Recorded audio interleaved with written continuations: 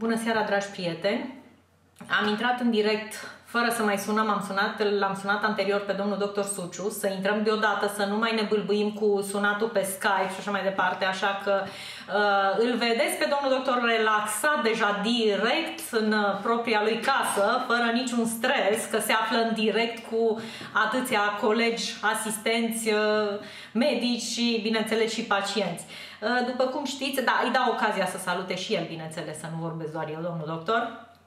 Bună seara, ai uitat și asistente, că asta mă interesează. deci asistente căutați, domnul doctor, așa -i? Așa, restul, restul să se ascundă. Restul la culcare, să înțeleg. La culcare, să eu de mine de rest. Așa, am înțeles. Deci, uh, în seara asta, după cum ați văzut și subiectul, o să discutăm despre îngrijirile la domiciliu și uh, despre voluntariat. Uh, acum am văzut că s-au adunat deja destul de mulți, mai ales cei care ați văzut subiectul postat și promovat de zilele trecute. Ehm, noi ne-am propus să discutăm un pic, în primul și în primul rând, să discutăm cu domnul doctor eh, care ar fi nevoia, dacă este sau nu este o nevoie de îngrijiri la domiciliu. Acum, după cum știți, domnul doctor Suciu este medic chirurg la Institutul de Transplant Renal și dânsul are tot felul de uh, pacienți pe care externează și haideți să-l ascultăm să vedem ce zice și dânsul. Este, în opinia noastră sau nu este, v-ați confruntat cu situații, domnul doctor, în care era imperios necesar să fie văzut pacientul post-externare? Păi, în primul rând vreau să spun că nu avem o cultură în chestia asta. Adică am fost un pic în Germania și îmi zicea omul, zice, măi, zice, dacă pacientul îl lăsăm acasă, este cineva care îl urmărește la domiciliu, care vede cum se simte, care îl tratează ulterior, dacă orice problemă are, apelează, cineva merge la el acasă și îl ajută. Ei, chestia asta mi se părea un științifico-fantastic, știi, așa numai o chestie în care te uiți la film. Și niciodată nu m-am gândit că s-ar putea să ajungem și noi să facem ceva, să putem să ajungem acolo. Adică eu din ce mă confrunt, sunt pacienți operați, nu pot să-i țin foarte mult în spital din cauza că, odată, zilele de spitalizare trebuie să fie cât mai puține. A doua, din spitale pot să ia tot felul de infecții, nozocomiale care, de care ne ferim pe cât putem. Și atunci, cu cât uh, operezi un pacient mai bine, poți să-l lași mai repede acasă, dar ar mai fi încă o condiție, ca cineva să-l urmărească ulterior. Și atunci uh, tot sistemul ăsta ar trebui implementat de la externarea pacientului. La externarea pacientului, uh, el ar trebui să primească un număr de telefon unde să se adreseze, să fie monitorizat ulterior. Uh, sunt mulți pacienți la care se poate scoate o sondă ulterior, o sondă urinară după operație de prostată, să știi ce să urmărești la pacientul ăsta, dacă, Doamne fer, se blochează, nu poate urina, să-i pui o sondă înapoi, îl mai lași o săptămână cu sondă și o scoți ulterior. Uh, dacă sângerează, sunt pacienți cu hematurie care sângerează și care se poate face un gest terapeutic minim acasă. Să-i pui o sondă, să-i faci o tracțiune, să-i faci un lavaj, ajuți foarte mult până când pacientul ăsta va fi diagnosticat și eventual tratat. Mai mult decât atât, dacă l-ai operat pe un pacient și trebuie să-i scoți niște fire, păi decât să vină până la tine la spital, numai ușor se deplasează cineva pe o anumită rută, îi scoate firele și toată lumea e mulțumită. Deci ă, ajutorul ăsta ar fi, părerea mea, pacienților foarte mare. Iar ă, asistentele, asistențe medicali, inclusiv doctorii, ar avea, cum să vă spun, sunt o grămadă de persoane care nu lucrează în spitale, nu lucrează într-un mediu, să spun așa, uh, spitalicesc și atunci pot să uh, își transforme viața într-un mediu adecvat îngrijirii efectiv a pacienților. Eu, de exemplu, să fiu asistentă, nu cred că mi-ar plăcea să stau la un cabinet, să completez formulare, să completez uh, hârtii. Aia pot să fac o secretară normală, care nu are pregătirea necesară. Eu ca și doctor, dacă nu fac cu pacientul, dacă nu sunt directă legătură cu pacientul, nu mă ajută foarte mult. Asta e părerea mea.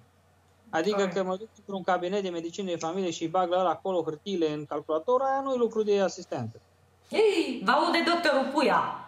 Se supără. Așa angajează, să-și angajeze una de 20 de ani care poate să pune numai hârtiile la punct acolo. Așa. Uite, întreabă Cristian Hermeniu că cine ar recomanda asistenții? cine a recomandat? Adică, de exemplu, dacă dumneavoastră aveți un pacient externat și știți că trebuie monitorizat puțin, considerați că asistentul ar trebui să fie recomandat de dumneavoastră sau că ar trebui să și-l aleagă aparținătorul sau pacientul?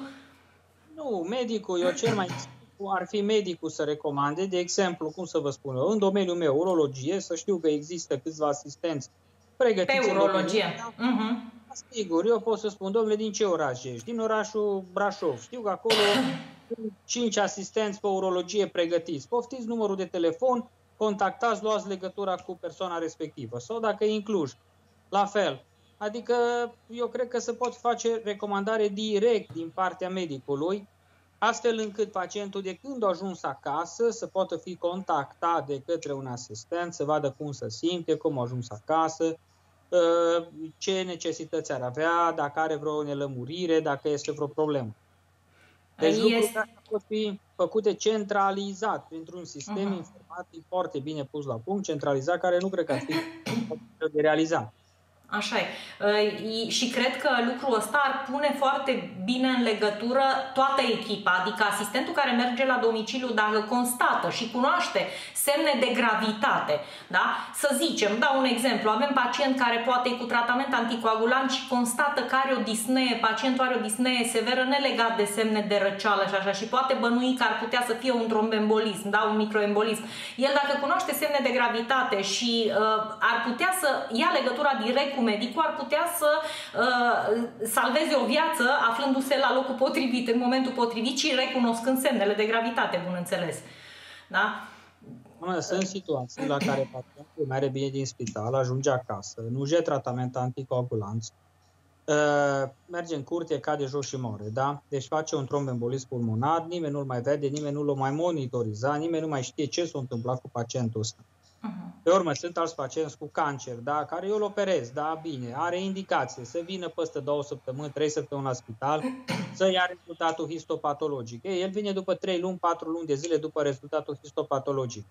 Deci, sunt minime noțiuni. Dacă cineva îl sună din când în când, măcar și spune, domnule dragă, uite, ai fost, ce diagnostic ai aia, ți-ai luat rezultatul ăla? Nu. Păi hai să vedem cum putem să facem, să primești rezultatul. Deci, chestia asta ar putea să fie la nivel național o chestie fantastică. Adică, eu cred că am putea să punem bazele unui astfel de, unui astfel de tratament și unei astfel de comunicări până la urmă urmei cu pacientul. Eu am avut situații în care, pentru că ce se întâmplă aici, lumea asta medicală e mai complicată decât am crezut eu. Uh, există atâta rivalitate și atâta, cum să vă spun, nu știu ce, luptă între medici, între între, între noi, până la urmă, urmei că suntem, până la urmă, o, o echipă ar trebui să fim, există atâta luptă pentru ce? Pentru nimic. Până la urmă, urmei. Pentru 3 lei, pentru 3 lei vin banii când mor, nu mai ai ai oricum. Uh, n-ai nevoie de ei. Deci, uh, chiar nu văd ar fi, de ce nu s-ar putea face niște lucruri în folosul pacientului. Am avut un caz la Constanța, de exemplu, nu era pacientul meu, era, un, era mai tânăr atunci pe vremea aia, Pacientul o sângerat, s-a dus la București, acolo a ajuns la un doctor, doctorul a zis, a, te opera prost, nu știu ce, și a început un proces împotriva altui doctor, uh, când toate lucrurile puteau fi redate foarte simplu. Adică cum? Dacă cineva intervenea la domiciliu, îi punea o sondă, făcea o tracțiune, să oprea sângerarea și pacientul stătea bine mersi acasă încă o săptămână, cu sondă, cu un lavaj și era foarte bine. Așa o trebuie să ajungă într-un spital, acolo a început un tam-tam, deci te-ai dus acolo și nu te-ai venit la mine, de ce te-ai tratat acolo și nu te-ai tratat aici. Uh, uh, povești dintre astea care, care nu aveau, să spun așa, niciun beneficiu, care nu aduceau practic niciun beneficiu la pacient. Corect. Lucrurile astea ar fi foarte ușor să se rezolve printr-un sistem bine pus uh, la punct și colaborând până la urmă toți, pentru că uh, uh, fiind toți unul lângă celălalt, putem să ajutăm efectiv pacientul să treacă peste un moment dificil. Așa e. Uite, uh, uh, scuze, uh, ziceți, ziceți că pe urmă vă pun întrebare. Sunt pacienți care intră în retenție de urină, da? se blochează, nu mai pot urina. Deci vă dați seama ce simptome are ăla. Îl doare burta, să umflă, să balonează.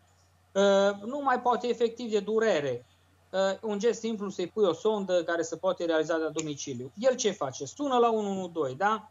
La 112 vine salvarea după 3 ore, după 4 ore, îl duce în UPU, până îl duce în UPU, îi face ecografie, mai stă o oră acolo. Uite că trec 5-6 ore până când pacientului îi se pune o sondă. Deci încă 5-6 ore de dă să puște vezica lui. Când la domiciliu sunat, poate să deplaseze cineva rapid, eu pus o sondă și uh, lucrurile se pot rezolva. Așa e. Uh, multe astfel de, alte, de tratamente și astfel de gesturi pot uh, degreva foarte mult o salvare, să spun așa, un sistem de salvare. Corect. Uh, Cristi Hermeniu, Cristian Hermeniu, că zicea că dumneavoastră, ca doctor, ați avea încredere într-un asistent uh, cu care nu ați lucrat. Ați pomenit de faptul că ați sunat, de exemplu, într-un alt oraș unde știți că sunt cinci asistenți pe urologie și ați recomanda asistenții medicale. Acum, tot el spune că în acest context Uh, credeți că ar fi necesar uh, să fie niște cursuri speciale de îngrijiri la domiciliu? Pentru că știm cu toții că îngrijirile la domiciliu uh, diferă în foarte mare măsură față de îngrijirile intraspitalicești. Da? Deci, oarecum, el sugerează că poate ar trebui ca aceste, acești asistenți să facă niște uh, cursuri de instruire sau module de instruire pentru a se descurca în situațiile respective. Și atunci ați putea și dumneavoastră ca medici să aveți încredere pentru că ați ști că uh, asistentul respectiv o parcurs un modul de învățare pe uh, procedura respectivă. Doamna Meda, eu uh, ce am văzut că lipsește, că ce ne lipsește în ziua de astăzi, nu mai sunt astea, că cursurile așa. Cursurile putem face, ne lipsește de multe ori ambiția și uh, stimulul ăla să facem ceva, adică să ne implicăm în societate. Uh, văd mulți oameni care trăiesc, dar de fapt sunt morți, nu mai au niciun pic de energie în ei, s-au obișnuit cu un ritm, s-au obișnuit cu o stare de bine, să spun așa, și nu mai ies din starea respectivă. E, asta eu cred că trebuie făcut. Trebuie să ridicăm odată breasla asta noastră, să înceapă să gândească și să înceapă să facă niște lucruri. Pentru că pula tă pulă, mă înțeles? A, mă scuzați. Da, asta e, eu cu asta lucrez, că dar nu lucrez cu altceva. Cu ce lucrez? Așa. Penis, penis, știi ce? E o pulă mai mică. Acum fiecare ce înțelege. Ne scuzați! Da. Dar nu, pe mine, nu pe dumneata. Așa. Dar îți spun o treabă, da? când îi pui o sondă la un om, păi dacă eu îl învăț pe la două secunde să pun o sondă, am trei două minute să-l învăț pe unul să pun o sondă, păi nu mai are ce să, să n-am încredere în el că pune o sondă. Sau ce să n-am încredere că faci un gest minim, minim, care îl înveți în, în ce să spun, într-un curs poți să înveți tot ce înseamnă un gest minim. Să vadă trei semne, trei simptome, să vadă că el are o colică renală, să dea un, un ospa, să ia un algocalmin, un, un uh, focusin și deci patru medicamente. Păi, bun, ce se poate mare filozofie să se întâmple? Nu s-a descurcat. Pune mâna pe telefon, sună un medic și spune, uite domnule, ce pățesc. Nu pot să pun sonda. Ok, se transformă dintr-un gest, să zic, care nu pot să pun o sondă, ok, atunci chem o salvare sau îl înveți să pun un cistofix. Îl înveți să facă o ecografie minimă. Nu cred că e mare filozofie. Avem în Clujul ăsta personal destul de calificat încât să facem niște cursuri care să-l învețe minim, basic, pe, un, orice, pe orice om. Până la urmă, urmă îmi spune cineva, bine, dacă vreau să-l învăț o operație, le iau pe portar și șase luni am învățat portarul să facă o operație. Mare lucru. Acum ne trezim noi deșteptul pământului că nu mai știm să... Știi, trebuie să avem... Scuze, îmi cer scuze, scuze, îmi cer scuze. Vai de capul meu! Da, păi s-o speria și el când auzi ce vorbiți. Așa. Ziceți. Deci, îți trebuie cinci, cum să spun, cinci polițiști să șurubeze un bec. Păi acum, eu cred că ajungem acolo. Unul ține becul și masa, nu?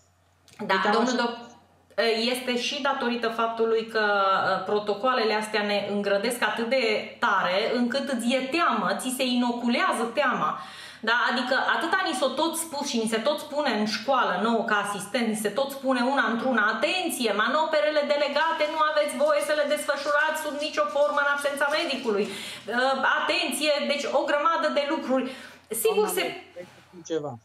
Ăia care au făcut lucrurile astea nu sunt niște oameni practici, sunt niște povestitori care în viața lor nu au făcut nimic. Și asta e 90% mă refer. Așa este. Niște oameni care nu sunt practicieni, care au început numai să scrie, să povestească și au făcut bani din chestia asta. Hai că trebuie să trecem la alt nivel, mă înțeles ce spun? Nu putem să stăm tot la nivelul ăla la care ne lăsăm conduși de niște retardați ai societății. Nu mai putem, nu, eu cel puțin nu mai pot. Dacă dumneata poți, asta e viața. Sau altul, sau altul. De asta s-a ajuns societatea unde s-a ajuns, pentru că niște scriitori au scris cărți. Eu le-am spus, bă, nu mai scrieți cărți după cărți, scrieți cărți după ce faceți voi. Alea cărți de valoare. Păi că eu dacă vreau să-l citesc pe Nelson Mandela, îl citesc pe Nelson Mandela, nu trebuie să-l citesc pe tine, că este din Nelson Mandela. N-are farbe, că îl citesc direct pe ăla. Deci Așa asta e treaba. Noi scriem cărți și să facem din ce facem noi, că noi suntem, până la urmă, urmei, în linia întâia ca meseriași. Așa e. Uh, ideea e că, domnul doctor, că vor să lucreze asistenții, deci cei care ies acum de pe băncile școlii, că sigur noi uh, uh, n-are rost să mai încercăm să lucrăm la mentalitatea celor vechi, care nu se vor mai schimba niciodată, dar putem să-i ajutăm pe ăștia tineri să crească în spiritul ăsta în care, de care pomeniți acum, da? adică în spiritul de implicare și de a, a ajuta societatea, pentru că e singura noastră uh, șansă ca societate să supraviețuim, da? să oferim ajutor ajutor la domiciliu. Dar pe ăștia trebuie să învățăm. Și ideea este să le creăm un cadru să poată să lucreze legal, fără teamă. Deci asta e, asta e ideea. Problema este în felul următor. Să fie uh, clar uh, și la subiect. Cei care fac școala asta și meseria asta trebuie să o facă dintr-o pasiune și dragoste. Mai înțeles? Nu numai ca să sune ce ești, asistentă și ce lucrezi, la masaj erotic. Lasă-o, domnule, asta, asta o fă până acum, da? Deci 80% s-a scos chestia, masioze uh, la masaje uh, celelalte. Omul care vrea să facă ceva și care e și asistent și care e și doctor, ăla doarme pe teren, se implică, merge acasă la pacient, suferă cu pacientul, mă înțelegi ce spun? Și nu se uită la ceas, că e ora 8 și s-o gătat programul. Da? Așa înțeles? Deci e numai o curvă care se uită la ceas și zice, nu, s-o gătat ora, mai ai, nu te-ai gătat. Înțelegi? Aia nu numai așa am văzut, de când ziua pe pământul ăsta. Da, asta da. nu în lumea medicală, mă înțelegi? Așa e. Deci da. asta mă confrunt acum și nu degeaba, că am chemat studenți, am chemat studenți, am chemat oameni din spital ca să vină să facă practică, să vadă cu ce să mănâncă toată treaba, voluntar. Crezi că vin? Nu. mai bine mă la discotecă decât da. să facă 10 metri până în spital. Da, dar nu-și asumă. Dacă nu suntem să înțelegem că niște oameni încearcă să profite după niște proști, de aici trebuie să pornim. Ca să nu profite nimeni după tine, trebuie să nu fii prost. Da. Asta este singura soluție să ieși din sărăcie, este școala. Școala care nu mai face oameni deștepți, ci face o glotă de proști care abia așteaptă să meargă până la școală și abia așteaptă să fugă să ajungă acasă, ca după ce au ajuns acasă să facă diverse activități în afară, nelegate de actul meseriei lor. Exact, exact. Asta trebuie să privească toată lumea aici. Eu nu spun că am dreptate cu toți, dar cine vrea să înțeleagă și are ureți, cum o zis la să audă, știi? Uh, dar uitați, genul ăsta de mesaj, că l-am afișat pe ecran, cum uh, spune Cristina, lucrurile nu sunt chiar atât. Deci ăsta este tipic uh, răspunsul tipic când nu vrei să faci ceva. Deci când nu vrei să faci ceva, asta e răspunsul tipic. Lucrurile nu sunt chiar atât de simple. Contează foarte mult să ai experiență. Mai este implicată familia care te poate da în judecată, asistentul de la domiciliu trebuie să fie acoperit și nu știu ce. Și plecăm de la asta și nu mai facem nimic. Da? Deci, Cristina, iartă-mă că am luat mesajul tău ca și un exemplu negativ, dar așa este. Adică când nu vrei să faci ceva, începi. A, păi stai așa, păi că nu e așa, păi că e mult mai greu, păi că e mult mai complicat. E adevărat, dar tocmai asta zicea domnul doctor, da? Adică trebuie să nu fii prost. Da? Adică trebuie să te pregătești atât de bine încât să știi ce faci acolo. Da? Despre asta e vorba. Și atunci nu o să-ți fie teamă să te implici. Dar dacă tu ești atât de limitat și nu știi să faci o diferențiere între, mă întreabă ce e hipovolemic, adică te duci la un pacient și nu știi dacă el e volemic sau nu, păi atunci de la ce pornim? De la nimic, da? Deci nu știm nimic. De câte ori am, acum recent, de două zile, am făcut uh, un sondaj să vedem câtă lume ar face îngrijirea și toaletarea pacientului? Păi este sub demnitatea asistentului, se pare, să facă toaletarea pacientului, deși este una din procedurile cele mai solicitate la domicilii. Pentru că pacientul ajunge din spital imobilizat după o fractură, deci col femural, dau exemplu, da? Și trebuie schimbat pacientul. Aparținătorul habar n-are cum trebuie întors pacientul ăla după operația de fractură, da? Întreb colegi asistenți, câți ar vrea să mergeți să faceți? Nu, dragă, apoi că nu, apoi așa de complicat, apoi că nu, că ce, dacă se întâmplă aia, dacă se întâmplă aia. Păi dacă facem treaba asta, nu o să se mai, nu, nimeni nu o să mai se implice să facă nimic și o să murim pe capete, bunici, părinți, copii, toți o să murim, dar știți ce e interesant? Culmea că fugim pe capete afară. Deci firme de recrutare împostează pe grup la, ne, la greu, zilnic, zilnic, zilnic, la greu împostează recrutare, forță de muncă, asistent medical pentru în Germania, Norvegia, Austria, băi, și acolo mergeți toți. Culmea, acolo mergeți toți. Aici nu vrea nimeni să facă nimica. Asta mi se pare ciudat și credeți-mă, omul ar da oricât, ar da oricât să-și găsească, acum o prietenă mă întreba, Meda, nu știi pe cineva să vină să mă ajute să o schimb pe mama că nu pot. Nu găsesc, frate, unul. Unul n-am găsit, unul în Clujul ăsta și plătește, frate, pe bani, plătește, nu-l găsești pe ăla. De ce, domnul doctor, de ce? Eu vă spun, pentru că eu am răspuns și la chestia asta. Doamna Meda, la început, toți proștii din sistem au plecat în străinătate care au fost deștepți și au găsit aici și au făcut aici un rost și au luat, mai zis dumneata, toate spitale și toți iodorii. Bun, asta a fost la început. După care au văzut că se câștigă un pic mai bine acolo și au plecat și ăștia mai deștepți, care o parte din ăștia mai deștepți. Însă, ăștia slabi ajung, merg acolo și ajung la un nivel, anumit nivel. Ajung la nivelul ăla în care câștigă un pic, dar și cheltuie, astfel încât la sfârșit de an nu rămân cu mare plus în buzunar. Bineînțeles, puțin sunt ăia, 10% din doctori, din tot ce plec, care intra- pleacă, care într-adevăr fac ceva și în străinătate și ajung oameni acolo și ajung bine văzuți. De-aia sub 10%, ți-o spun sincer, restul sunt doar folosiți. Ei, în țară, orice, orice om, indiferent ce meserie are, poate să câștige mult mai bine decât în afară și spun și de ce. Pentru că tocmai asta este o lipsă acută a forței de muncă. Toată lumea a plecat, uh, înțelegi, în străinătate, crezând că e mai bine. După ce ajungi acolo și vezi cum ei nu mai putut da înapoi, de ce? Că au zis, a, am plecat, viu cu rușine, mi rușine să mă mai duc acasă. Ei, noi nu mai trebuie să aducem pe ea înapoi, de ce? Pentru că nu avem nevoie, doamnă, că ea nu sunt patrioți, ei au fost niște oameni care au plecat, într-adevăr, la revedere și au văzut interesul personal, foarte bine că au făcut, dar atunci nu mai poți să zici că tu, eu nu le-aș da drept nici să voteze la ăștia, să voteze pentru Germania, Anglia, pentru cine vor ei, dar nu pentru România. Ei nu mai sunt pro-România, ei sunt contra poporului ăsta. Ne ridicăm în cap. Haideți să nu... Haideți să nu... Eu spun adevărul în față, eu vorbesc cu mulți acolo, am o soră plecată la care este același pe același principiu, îi spun ei același lucru. Dacă eu îi spun la soră mea așa, păi nu pot să-i spun, pot să spun la cine vreau. Asta e o da. părere personală. Nu mai o clipă, domnul doctor, nu mai o clipă. Colega Cristina s-a simțit foarte atacată și afectată, da?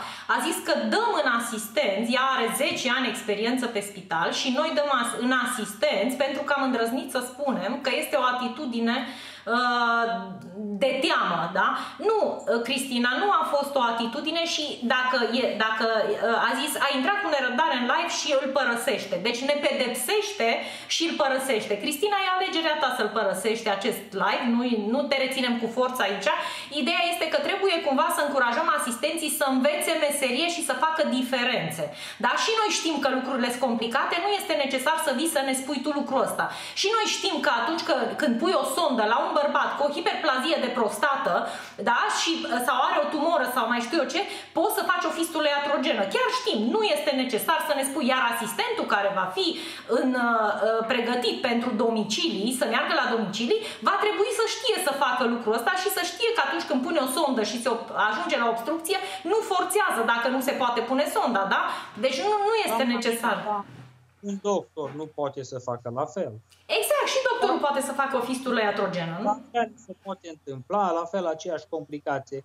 Nu cred că e, cum să vă spun, că Cristina sau altcineva, că așa mai departe, tăți, ca să putem să trecem, ne-am depășit nivelurile de pregătire cu un risc și cu, cum să vă spun, cu inima la gură, să spun așa. și eu primele intervenții, după ce am crezut că le fac cât de bine, după aia am avut alte complicații. După complicații am avut și pacienți care după operație, fără să zic să aibă legătură cu altă operatură, au decedat.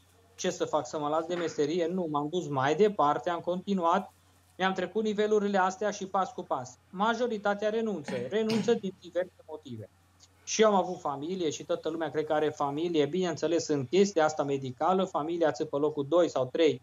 Asta dacă vrei să fii doctor sau asistentă. Dacă vrei să fii altceva, fă-te altceva și atunci pui familia pe primul loc. Eu am cunoscut un doctor, era cel mai prost din spital și zicea profesorul ce uite, cel mai bun doctor familist. Da, el era cel mai prost, toți râdeam de el, că acesta e cel mai bun doctor familist. Ok, vrei să fii familist? Fă-te altceva, domnule, că sunt IT, calculatoare, tot felul de meserii care poți să fii toată ziua cu familia. Meseria asta este dedicație dacă vrei să o faci și să o duci la un anumit nivel ca să ai anumite satisfacții din meseria respectivă. Pentru că dacă nu, nu o să ajungi niciodată să ai satisfacție. Eu nu vreau să jignesc pe nimeni, mă înțelegeți, că și mie îmi place când am o asistentă bună, îi mai dau una păstă fund, mai râd cu ea, mai fac. Da, ea face parte din relaxare, nu face parte din meseria mea. Meseriei, când vezi o femeie care când i-ai spus o treabă, o înțeles imediat ce trebuie să facă, știe ce trebuie să facă, e foarte dificil până să faci echipa de lucru. Când ți-ai făcut echipa de lucru, te-ai uitat la ea în ochi și deja știi ce trebuie să facă. Dar asta ce înseamnă? Asta înseamnă niște sacrificii, responsabilitate, seriozitate în primul și în primul rând. Degeaba vii și toată ziua te eclizești hi-hi-hi cu unul și cu altul, iar când e vorba de meserie, tu nu știi să faci o injecție.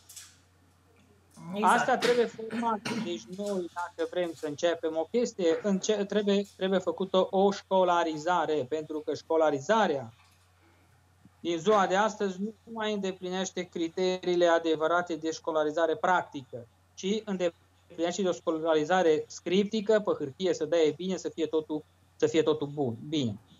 Însă, din punct de vedere practic, lucrurile astea trebuie uh, pusă în practică.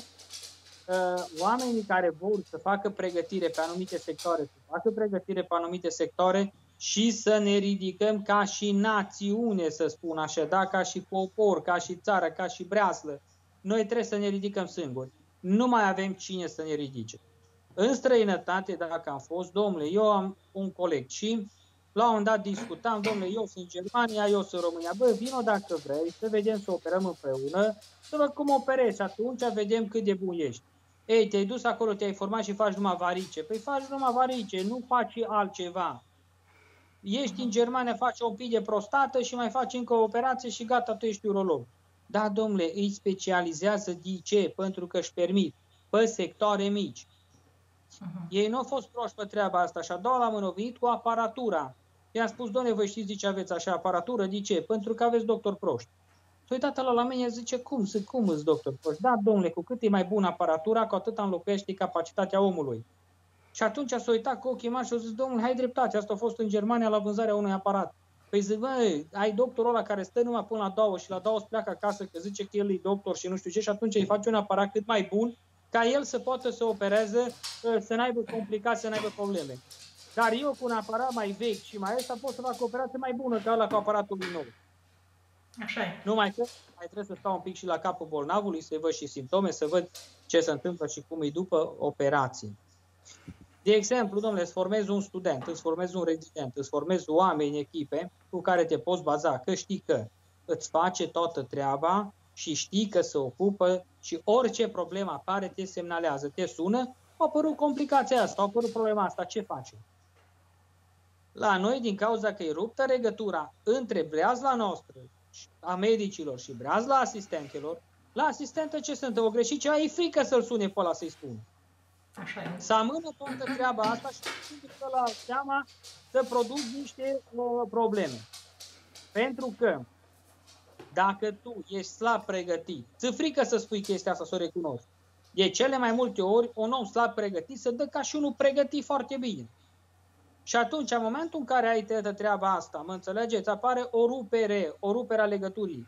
Dacă te pregătești bine, atunci n-ai frică, domnule, și nu ți mai frică că mă duc să pun o sondă sau că mă duc. Nu știu ceva, sun, am colaboratori. Eu nu pot să le știu pe toate, nici eu ca și urolog. Am probleme cardiace cu pacienți, probleme. În schimb, am o echipă de oameni, sunt cardiolog, sunt internist, sunt pătăți care trebuie să-i sun și zic, bă, eu nu mă duce capul, hai tu și fă. Și nu-i, nu-i rușine să spui nu știu asta. Deci cum să, că să-ți fie rușine să spui? E mai bine să nu spun și să mă duc să-l bag în pământ pe bolnavul ăla în loc să cer ajutor să rezolv. Exact. Dar pacientul asta nu vrea rezolvarea problemei. Exact. Uh, lucru în echipa multidisciplinară, încă la noi nu s-a obișnuit lumea no. să lucreze foarte bine în echipă, în echipă multidisciplinară, știi? Deci, domnule, ce ești doctor, asistent, apoi ce e asistentă? Nu, domnule, fiecare are un rol extrem de important în societate și la fel de important.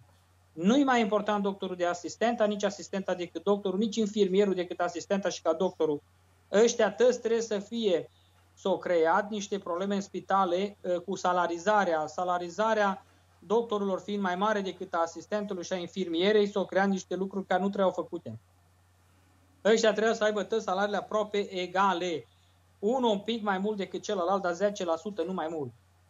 Pentru că eu ca să am un pacient să-l operez bine, trebuie un infirmier să-l poziționează bine, să-l îngrijească bine, să-l ridice la timp, să facă... Deci toți trebuie să lucreze la parametri de high level. Nu, eu pot să fac o operație bună și următoarele tăte să, să leagă lanț și nu mai vede nimeni pe bolnav și bolnavul ăla va mere prost. Actul meu operator nu are nicio valoare. Valoarea actului operator este zero. Însă, noi nu mai putem veni cu lucrurile de sus în jos, adică să-ți vină de sus, de la conducere, de la ministere, unde s-au uh, adunat cei mai proști din sistem. Domnule, trebuie să vin de jos în sus, de la oamenii profesioniști, oamenii practici, în sus. Și atunci, fiecare, eu am o vorbă, să stea la locul lui, domnule, unde ți loc, acolo stai. Vrei să fii prost? Stai între proști. Dar atunci nu te da spectacolul. Rămâi acolo și ești mulțumit cu valoarea ta. La noi nu s-a mai făcut o valoare reală a omului și atunci nu mai știi cine e de valoare și cine nu e de valoare. Asta, părerea mea, că e o mare, mare problemă.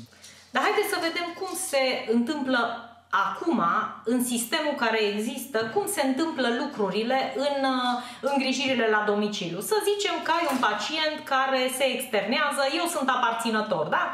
Îmi uh, externează pacientul seara la ora vineri. Dau un exemplu, vineri seara la ora 18 mi-ajunge ambulanța cu el acasă și uh, mă trezesc că mă uit pe scrisoarea medicală, eu care eram studii medicale ca aparținător, mă uit pe scrisoare niște explicații SF medicale pe care nu le înțeleg, e chineză pentru mine, dar văd acolo că trebuie să-i administrez tratament injectabil. No, unde găsesc eu la ora aia o, o asistentă să-i facă tratamentul, că eu luni mă duc la medicul de familie, dar ce fac până luni? Da, că e vineri seara. Pun mâna pe telefon și sun la diverse firme de îngrijiri care nu răspund la telefon pentru că au secretaria până la ora 1, 2, maxim 3. Da, pui mâna pe telefon, ce fac până luni? Și atunci ce face săracul aparținător? Zice, a, păi caut eu o asistentă și de telefoane, mă, nu știi pe una, nu știi pe una, nu știi pe una și până la urmă te găsești una care a avut 20 de ani, o făcut și ea injecții, cred că, și să poate că știe și aia să facă ceva. No, ideea este că lucrurile pentru că sunt atât de dezorganizate și pentru că aparținătorul nu are efectiv soluții, lucrurile se întâmplă cum se întâmplă, da? Adică la externare el nu primește variante. Bine, nu vorbim de situațiile în care în urma unei stări post-AVC el primește direct din spital un dosar de îngrijiri la domiciliu, dar care, de care nu poate să beneficieze decât peste o lună de zile când îl aprobă casa, da? Nu despre acele situații vorbim, despre o situație normală când pacientul după 5 zile de internare, 7 zile, se trezește acasă, neimobilizat, ce face? Ei, la astfel de situații trebuie să găsim soluții, da? Pentru că nu e normal să nu ai unde apela. Acum pacientul se externează și oare cumva, să spun așa, mere pe, pe, pe noroc, înțelegi? Adică mere pe noroc în sensul că ă, dacă are noroc, mere totul bine, știi? Bun, da, el va trebui să facă o urocultură, să vedem cum e urina după. Nu mai are cine să o interpreteze. Bun, am mai dat numărul de telefon, la unii pot să răspunzi, la unii nu pot să răspunzi. Uh, uh, singur să faci o chestie de asta, să gestionezi toate cazurile. Eu îți dau un exemplu, operez 800, 900 de un an. Mai ales multe cazuri să le gestionezi, plus mai faci consultații, fiecare are problemele lui.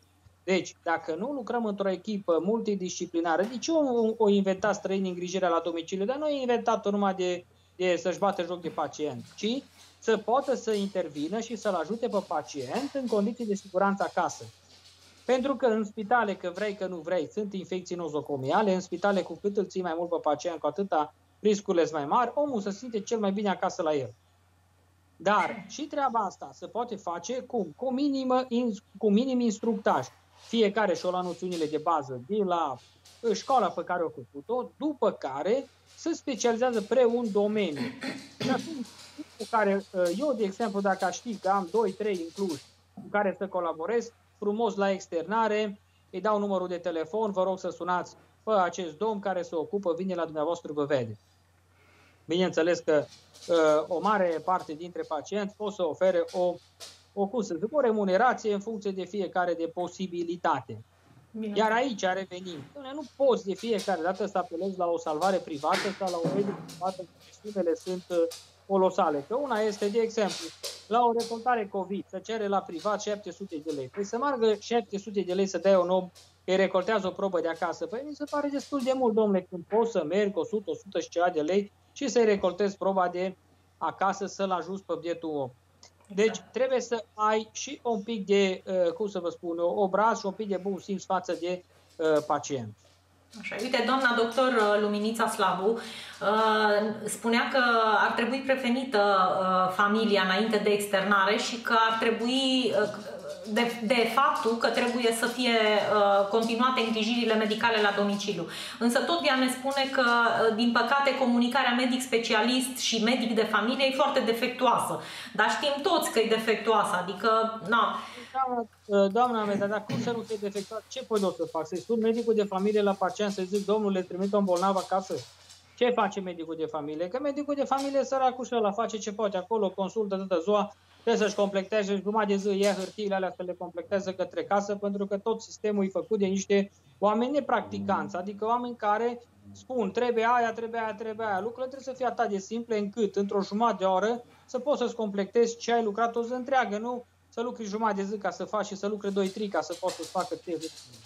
Exact. Medicul de familie, părerea mea că în, în momentul de față, el e depășit de situație. Nu e la capacitatea la care și mulți medici de familie au și ei au vârstă, ă, trebuie să ne gândim și la ăia că ă, nu toți sunt tineri să zic că mai aibă entuziasmul tinereții. Iar la orice om trebuie să-i dai, cum să spun, și ă, să aibă satisfacția de a face ceva, adică satisfacție. Dacă tu nu ai satisfacția aia maximă când, când faci un gest, asta e o chestie, să vă spun, nu, nu poți să-i nu pot să-i, nici să-i acuz și nici să-i, uh, să-i scuz, să zic, pe medicii de familie, pentru că și ei, eu cred că fac mulți dintre ei tot ce pot.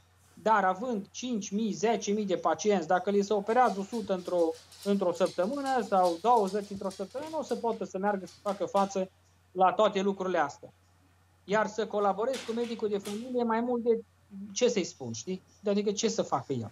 Dar domnul eu doctor, acum... Eu nu mă deplasez la domiciliu decât în data de joi, două, peste două săptămâni. Am înțeles. Acum, sincer, uh, acum în situația actuală cu pandemia, uh, comunicarea e defectuoasă și în, între echipa medicală și aparținător, pentru că ne, având acces aparținători în spital, tu ca și terapeut, ca și medic, uh, nu mergi la externare să stai de vorbă cu familia, nu mai ai timpul fizic necesar, mă gândesc că. Nu mai ai timpul da. fizic... Spuneți. Da, nu există timpul ăsta, deci asta cum să vă spun, dacă pot să reproșez ceva e faptul că nu discut suficient nici cu pacientul și nici cu, nici cu familia, nu ai timpul necesar, asta e una la mână. A doua la mână, 80% din pacienți sunt în vârstă, sunt pacienți cu diverse probleme, el și așa nu înțelege mare lucru din ce îi spui. Uh, familia nu are de multe ori educație medicală corespunzătoare și atunci el săracul te ascultă, te ascultă și după ce te asculta 10 minute ce da ce ați să ziceți, domn doctor. Exact. No, uh, da, să ziceți, uh, iau de la început dacă mai ai timpul necesar. Și nu este uh, timp, e adevărat timpul necesar, de multe ori nu există timpul necesar. A doua la mână, nu există cultura în, din școală, cultura medicală, ca să înțeleagă omul ceva din ce explici tu. Ehm, îi scrii pe biletul ăla de ieșire, îi scrii tot ce trebuie, dar el nu are răbdare să citească tot biletul ăla și să-l citească până la sfârșit și așa ajung să, să piardă anumite informații. În momentul în care cineva îl vede post-operator, el mai poate să reia din explicațiile respective, mai poate să puncteze lucrurile, să spun așa, esențiale în urmărirea unui astfel de pacient. Sunt pacienți la care îi spun, domnule, du-te la oncolog după operație, du-te la oncolog pentru că sistemul nostru nu este un sistem integrat. Adică să fie un sistem în care pacientul vine, uite așa, are niște pași. El trebuie să meargă de obicei la opereți în spitalul ăsta, oncologul în alt spital, radioterapeutul în alt spital, fiecare cu partea lui în altă parte.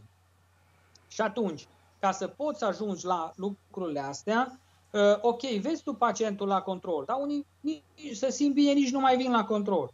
Am avut pacient care am aflat de el, să zic, din alt pacient care au zis, băi, stai acolo într-un vârf de munte, o să ce bine să simte, nici nu mai vine la control de șase luni. Deci pacientul nici nu mai vine la control, că s-o simțe bine, totul e bine, vine numai când apare complicații.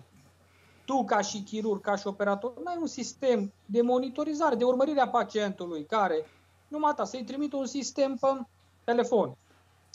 Uite, acolo unde o să ieși bani și au fost bani, sistem de asigurări, acolo există, le vine pe telefon, vezi că nu v-ați plătit asigurarea la mașină, da? Aici nu există, vedeți că n-ați fost la un control, vedeți că nu, nu există nimic în sistemul ăsta pus la punct între intrarea pacientului. Sunt la numărul de telefon a pacientului ca să sune, ai dat mită în spitale, na? Asta interesează, atât au ei în cap, mita din spitale. Da, da dar de ce? Pentru că nu s-au venit în spate. Adică scoate mita din spitale 500 de lei și bagă 50 de milioane în privat. E mult mai bine pe legal, pe hârtii, omul va fi mult mai fericit. Bun, la proști o prins asta foarte bine, pentru că suntem o nație de proști. Și eu le-am spus-o de la început. O să se roage paciență să mai ai 50 de lei în spital. Și nu o să-l mai ai, o să-l chem în privat și iei de 10 ori atâta legal, corect, și o să pleacă de acolo plângând. Asta vrea poporul. Asta va avea, deci nu e nicio problemă. Că proști, e foarte bine când treci pe lângă proști. Trebuie să educăm, că... domnul doctor. Știi care e situația? Educația unui popor este foarte costisitoare. Asta a făcut-o numai Ceaușescu. De acolo încolo nu mai face nimeni. Nici nu a făcut-o până atunci. Nici nu mai face nimeni de acolo încolo. De ce? Doamna Meda, eu dacă am 10 asistenți și câștig după ei, păi de ce să-i, da, să-i fac deștept? Păi, uh, mai să o prostie, că mai am acolo și ceva care să ăsta, când am timp, mai am acolo și una care... De ce să întâmplă tăte lucrurile Știi ce se întâmplă? Din cauza, ă, din cauza lipsei de profesionalism. Din cauza asta se întâmplă toate lucrurile. Pentru că dacă o, o persoană este ă, dacă o persoană este bună, își cere prețul. Fiecare, eu n-am văzut unul bun să lucre ieftin. Nu știu dacă dumneata ai văzut. Eu m-am dus la un tenichigiu și eu acolo m-am deșteptat, atunci m-am deșteptat. Extraordinar, a fost pentru mine o, o cum să zic, o revelație a, a meseriei mele. M-am dus la ăla să-mi facă, m-o prins ploaia în zalău și mi-o spart toată mașina. Și m-am dus la, domnule, fă-mi acoperișul ăsta, zice, domnule, ai 700 de euro, nu du-te acasă când ai și vino cu ei. Nu conta că doctor, nu conta că ce bine sau ce rău am făcut în societate, nu conta nimic. O zis, ai 700 de euro, dacă n-ai, du-te acasă și hai cu el. Bă, un retardat de tenichigiu cu trei clase. Și o valora școala mea, te rog, îmi spune în fața la ăsta. O valora ceva? Nimic, doamne. Și vine un tinichiciu la mine pe urmă și zice, fă-mă gratis. Bă, dar tu ai mamă, adu-te la ea să te fac.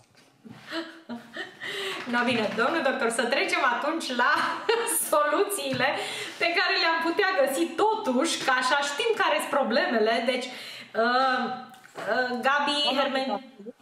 Să încep cu școlarizarea, adică cu învățarea omului pe procedură. În momentul în care fiecare va fi stăpân pe ceea ce va face, adică îți dau un exemplu. Eu dacă mie întreb pe partea de urologie, îmi trebuie un, uh, o persoană care ce să facă? O să tratez la domiciliu o colică renală, care e un simplu tratament. Poți să tratezi o infecție urinară, care e un tratament și faci un test rapid acasă, poftim, arată că e nitrit și poți să-i dea un tratament.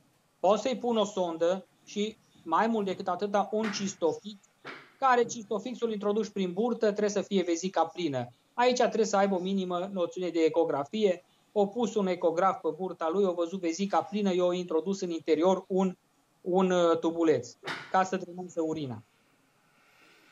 Deci, începând cu niște noțiuni și făcând un pic de practică, ca și, ca și uh, cum să spune asta, când faci în practică fără bani în spital. Uh, voluntariat sau ce? Un fel de voluntariat. Dacă persoana respectivă vine voluntară în spitalele, domnule, de stat, acum, pe lângă oameni care fac chestia asta, nu există să nu învețe. După ce o învăța lucrurile astea, el se poate deplasa oriunde în societate să-și facă chestia asta și, bineînțeles, să fie remunerat după ce meserie face și după ce face. De ce am dat exemplul ăsta? Ca să înțeleagă fiecare, domnule, să nu se mai plângă că nu au, să se plângă că nu au suficient cap să facă să aibă. Asta este, învață și pe urmă te vei folosi de rezultatul învățăturii. Să faci Așa e. Acum, Pentru asta... că de multe ori, ca să poți să faci, să ai rezultate, trebuie să ai, să spun, și, uh, cum să vă spun, psihicul pregătit pentru așa ceva, unul la mână și a doi la mână, să te atragă ceva. Dacă tu știi că muncind un an de zile, la sfârșitul anului îți iei o mașină, ești interesat să te zbați cât mai mult să iei mașina aia și să muncești să faci ceva. Eu, asta e părerea mea, că întotdeauna trebuie să fie un stimul la capăt deci la capătul tunelului omul să vadă lumina. Dacă vede tot timpul întunericul, se plafonează și rămâne. Și pentru asistent și pentru doctor, dacă nu-ți depășești în fiecare zi capacitățile tale, nu poți să treci la următorul nivel, nu poți să fii mai bun. Așa e. Dar până la urmă, domnul doctor, oricât n-am vrea noi să recunoaștem, totul se rezumă la bani. Atât, uh, atât uh, din punct de vedere uh, al pacientului, în ceea ce privesc îngrijirile, că multă lume zice, păi sigur că ajuți pe bani. Nu poți să te duci să-i cumperi pacientului materialele necesare dacă se află la un domiciliu și a făcut o escară, îți dau un exemplu, da? Uh, el are nevoie să-și achiziționeze acele materiale. Deci, până la urmă, tot la bani se rezumă. Nu poți să aștepți în permanență de la stat. Dar nu și... asta, eu mai spun o treabă. Dacă faci un bine, ți se întorce înapoi. Da, eu înțeleg. Da, domnul Zile. doctor, dar eu vă înțeleg perfect, dar dacă tu ești asistent medical și ai un pacient care are o escară uh, cu un potențial de vindecare 9 luni, Uh, e cam greu să te duci la 10 pacienți cu escare care se vindecă 9 luni și să nu iei niciun ban pentru că tu trebuie să-ți plătești chirie sau să-ți plătești taxe sau până la urmă nu o să vină nimeni să-ți plătească taxele, chiria și așa mai departe. Deci nu chiar mai cum. Cred că asta e problema. Pacientul, bineînțeles că în funcție de cum faci tu treaba, el, el îți va da ceva, dar dacă o faci legal și dai o chitanță pe ce dai, dai plătesc la stat dările, ți-ai făcut și tu un ban suplimentar, ai învățat mai exact. mult, ai dezvoltat în societate. Pe lângă asta, dacă ai văzut 10, 10 pacienți 10, dacă ai văzut 100 100, te vei întâlni că e într-o zi și 100 vor zice să rămână, mulțumesc că m-ai ajutat. Pentru că dacă nu erai dumneata și cu bani și fără bani, uh, uh, uh, pacientul respectiv, eu cred că cheltuia mult mai mult și poate pierdea un picior, poate pierdea rana respectivă poate mure, poate apărea tot felul de, pot apărea tot felul de complicații care nu îi mai aduce viața înapoi cu toți banii de pe pământ. Dacă ai și bunul simț să vezi și de la cine cât ei, asta iară e o chestie care, care ține de tine ca om. Pentru că dacă vezi că eu nu am râs și zice, domnule, n-am numai 5 lei, domnule, 5 lei îți bun și aia. Pentru că vine altul care are care îți dădea 20 de lei și îți dă poate 50. Îți dă dublu față de cât ai vrut tu că are de unde. Și una cu alta puteai să ajuți un om. Dar dacă vine situația și zice la sfârșit, îți dau un exemplu, o consultație e 400 de lei și omul are numai 100. Acolo nu poți să-i faci decât atâta, dacă nu du de acasă. E mai bine așa? Nu, nu e bine, domnul doctor, dar nu putem crea un sistem pe acest, uh, pe acest principiu. Deci noi vrem să creăm un sistem. Un sistem nu se uh, creează pe principiul ăsta, adică oamenii trebuie să înțeleagă Auzi, sigur că faci, sigur că faci și lucruri de întrajutorare. Eu nu zic că nu, că toată lumea face și lucruri de întrajutorare. Dar trebuie, ca idee, trebuie să creăm un sistem funcțional, să fie simplu, că de fapt aici a fost ideea, să fie simplu, accesibil, atât pentru asistenți cât și pentru pacienți și medici și interrelaționarea între toți să fie facilă, că asta e ideea. Doamna Meda, eu ce vreau să spun este în felul următor. Să poate crea un sistem și să poate crea o plată a sistemului, dar cu niște sume de bani de bun simț. Pentru că una este, eu asta aici vreau să ajung, ă, vedeți dumneavoastră, la toate procedurile medicale și din sistem privat s-au pus niște prețuri mai mult sau mai puțin justificate. Adică, domnule, nimeni nu s-a sesizat aici să spună, domnule, cât costă procedura aia. De ce e atâta și nu e atâta? Asta e un lucru extrem de important. Pentru că dacă o procedură costă 100 de lei, păi nu pune, domnule, 100 de milioane ca să câștigi tu 99. Pune, domnule, 3 milioane și ai câștigat 2 și tot e bine. Deci, aici este vorba despre un bun simț a fiecăruia dintre noi. Da, dar ă, dacă revenim la timichigiu dumneavoastră, dacă noi am creat o piață a asistenților medicali, Uh, unii mai bine pregătiți, unii mai prost pregătiți, unii foarte profesioniști, da? S-ar crea o piață cerere-ofertă. În momentul în care... Da. Cum? Asta trebuie. O piață concurențială. Exact, o vedeți? Care fiecare om să acceseze un serviciu cu posibilități. Exact, vedeți? Asta vreau să spun. Adică dacă eu ca asistent sunt cel mai cotat pe piață pe escare, da? Eu pot să-mi pun prețul cât consider eu că merită munca mea și cât, câtă implicare am pentru asta și câți ani, ani am investit să învăț ca să știu ceea ce știu, da? Un altul care o citit poate ce să zic eu, trei tratate despre plăci și nu a văzut în viața lui uh, o evoluție a unei plăci, da? Poate să-și pună un preț cât consideră el că a meritat tot efortul lui de pregătire, da? Ei, pacientul are posibilitatea să aleagă între gama de profesioniști, da? Și atunci, băi, n-am bani decât de ăsta care îmi pune sudocrem pe, pardon, uh, creme cu zinc sau pudre pe plăci, astea sunt ăștia banii care mi permit, da? Nu-mi permit să chem pe unul care chiar știe ce vorbește acolo. Dar sunt și ăia care își permit să te cheme și să te țină acolo 3 ceasuri de povești, că se întâmplă de multe ori să mă duc la un pacient și să-mi pună toate întrebările din lume și nu plec de acolo până nu l-am lămurit cu toate aspectele pe care uh, o dorit să le afle legat de starea lui. Uh, dar asta presupune timp, implicare, presupune investiția mea în pregătirea mea profesională, pentru că de 10 ani mă pregătesc în treaba asta și la fel cum dumneavoastră v-ați pregătit. Dacă ar fi piață concurențială, nu există, ar fi și uh, pacientul ar avea posibilitatea să găsească mult mai ușor, iar asistenții să poată să-și pună un preț pe munca lor. Deci eu, eu așa văd lucrurile.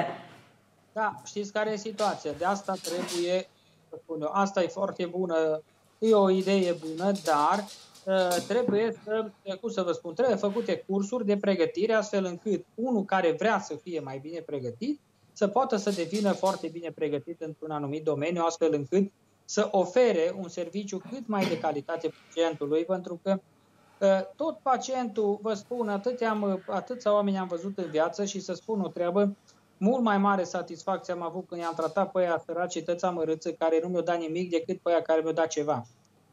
Și vineau pe urmă la control la mine și zicea, domnul doctor, uite-te, mă simt bine și am făcut o rugăciune pentru dumneata și mă luau în brațe și parcă mă bucura foarte tare treaba asta. Și uh, analizând, așa să spun, ultimii 10 ani, să știi că au contat foarte mult și lucrurile astea. Deci, uh, per ansamblu, părerea mea, și asta e o părere simplă de, de a mea, trecând așa și pe lucruri bune și pe lucruri rele, ca să ajungi la bine trebuie să treci pe greu. Nu există lucru care să ajungi ușor la el nu, nu prea n-am avut în viață, ziceam, domnule, uite-te, pentru fiecare intervenție și fiecare operație trebuie să-ți transpiri, exact cum scrie în Biblie, să-ți câștigi pâinea cu sudoarea frunții tale.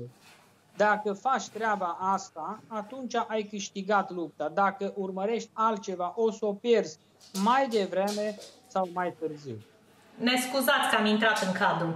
Uh, domnul doctor, uh, uitați și Vali Hârjoabă, e o colegă de-a noastră dragă din Bistrița. Ideea este în felul următor. Dacă dumneavoastră, cum face și Gabi, continuăm să perpetuăm ideea de a oferi uh, numai servicii gratis, numai servicii gratis, că numai așa își permite omul de rând, cum zice Vali. Vali, să nu te superi și tu ca și Cristina, da? Uh, zice așa Vali, omul de rând de obicei nu-și permite serviciile medicale la domiciliu, trist, dar asta e realitatea în țara noastră, deoarece la serviciu actual am salar bun, uh, ajut pacienții fără să le cer nimic. Vali, tu ai salariu, da? Deci tu lucrezi pe ambulanță, ai un salariu decent, da?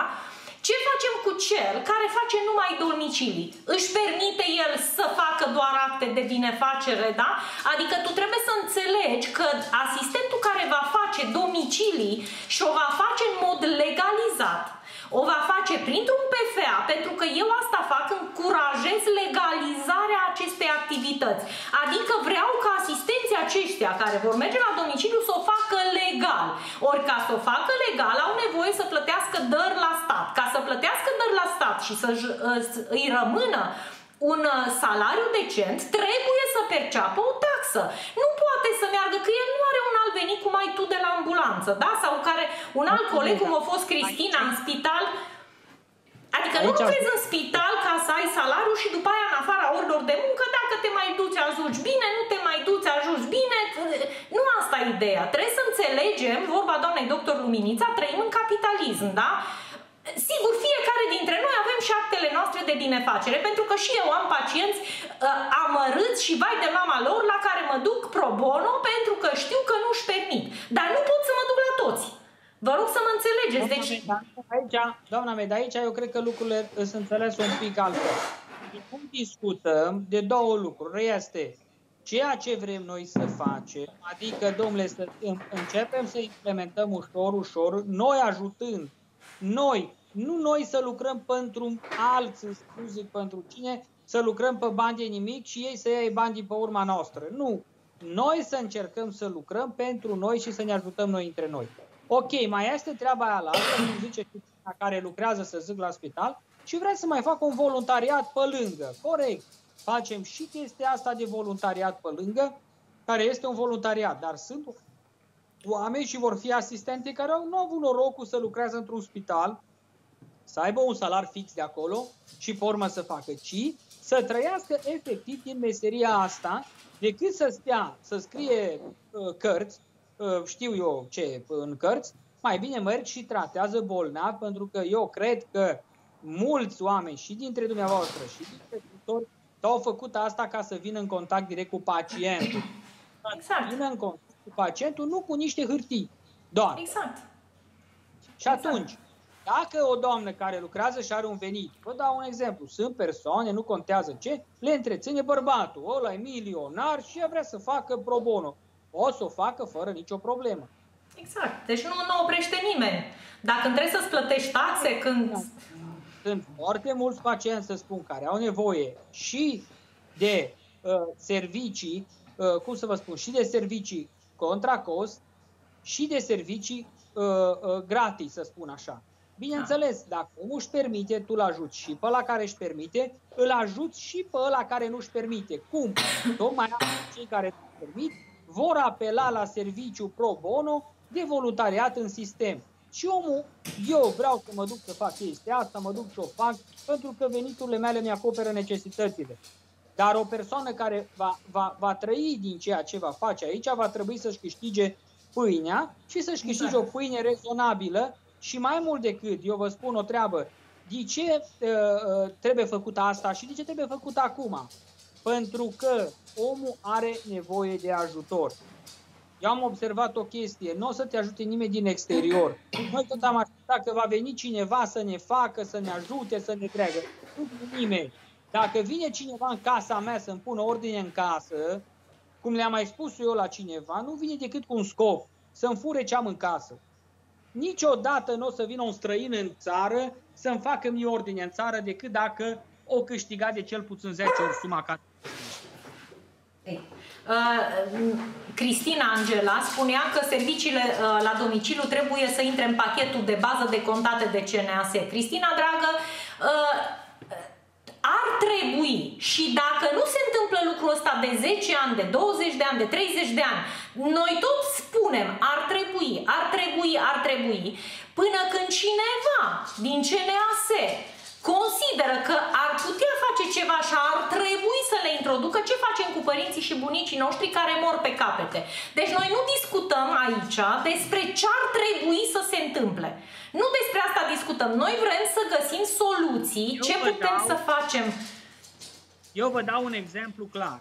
M-am dus la salvare și am zis, domnule, voluntariat, recoltăm probe de acasă la pacienți suspect de COVID respectăm ordinele voastre, respectăm tot, tot, tot, tot. tot. Mi s-a spus, nu se poate. De cum, dole nu se poate? Zic, ta oricum la o salvare îi dai. Îi dai echipament, îi dai eprubeta, da? Și dai mașină, corect? Mie nu trebuie să-mi dai mașină, numai benzina, echipamentul și eprubeta. Eu te asigur oamenii, mergem și luăm după regulile voastre. Nu se poate. Doamne, cum să nu întâmplă treaba asta? O făcut întâlnire între salvările private și au spus, vă dăm 1.700.000, cât e consultația la domiciliu și mergeți voi și recoltați. Le-am spus dinainte de întâlnire, nu o să faceți absolut nimic decât o mascaradă în care o să zicem, poate recoltăm și noi 2-3 și nu o să se recolteze nimic. Nu s-a recoltat nimic, nu s-a făcut nimic. Deci, dacă și este o, o salvare care pentru 700 de lei mere și recoltează de acasă. Câți au să facă chestia asta? Și noi, care am mers voluntari, să facem treaba asta, să ajutăm și sunt convins că uh, să asociau și alți asistenți, și alți doctori. Au zis că nu se poate. E, până când suntem un sistem de proști care așteptăm numai după cineva să ne spună ce putem și ce nu putem face? Exact. Adică nu putem spune ce putem și ce nu putem. Uh, ideea asta este că nu putem să așteptăm de la stat, da? Iar pacienții noștri sunt dispuși, unii care își pot permite, sunt dispuși să plătească și n-au cui. Pentru că nu există un sistem care să fie funcțional. Adică nu este un sistem, să intri, îți dau un exemplu, că ăsta este lucru despre care vreau să vorbim acum, ce am gândit să fac? O platformă de interconectare între pacient, asistent, fundație, medic, voluntar. Deci o platformă în care pacientul când, sau aparținătorul are nevoie de un cadru medical să intre, să-și caute asistentul în raza lui de proximitate și să dea apese butonul caută asistent sau apelează asistent și conform leg- legislației să poată să intre în legătură cu asistentul, în funcție de cum o să permită legislația asta, pentru că la asta lucrăm acum. Ideea e că pacientul vrea să plătească și n-are cui pentru că asistentul nu merge să lucreze, din cauza că este teamă de legislație și din cauza temerilor că nu e bine pregătit și că nu se descurcă, cum zicea Cristina, care s-o supăra pe noi mai înainte și-o plecat. Da? Păi tocmai pregătește-te foarte bine ca să poți să faci față la un domiciliu. Asta e foarte important. Da? E foarte, foarte dificil. Uh, părerea mea este că Acum am dat în lucru platforma respectivă. Platforma respectivă, pe platformă, uh, asta vreau să fac, să aduc atât asistenți cât și voluntari, iar asistentul să poată să își facă un profil în care să își arate uh, disponibilitatea pe anumite proceduri, iar module să uh, poată să se instruiască pe proceduri pe baza unor module de instruire, instruirea procedurilor la domicilii, da? Adică el dacă vrea să se perfecționeze pe escare, dau un exemplu, să parcurgă un modul de învățare a escarelor, tratarea escarelor la domiciliu și să fie testat pe acel, acel modul, iar în profilul lui să-i apară trecut uh, perfecționat pe escare. Dau un exemplu, nu știu dacă așa uh, va fi până la urmă toată denumirea structura, deocamdată e uh, un proiect, da? Ideea este că trebuie să ne pregătim uh, foarte bine pe ce facem. Asta e ideea, pentru că, din păcate, școlile noastre, școlile noastre scot asistenți medicali generaliști, da? care știu tot, dar nu știu nimic temeinic.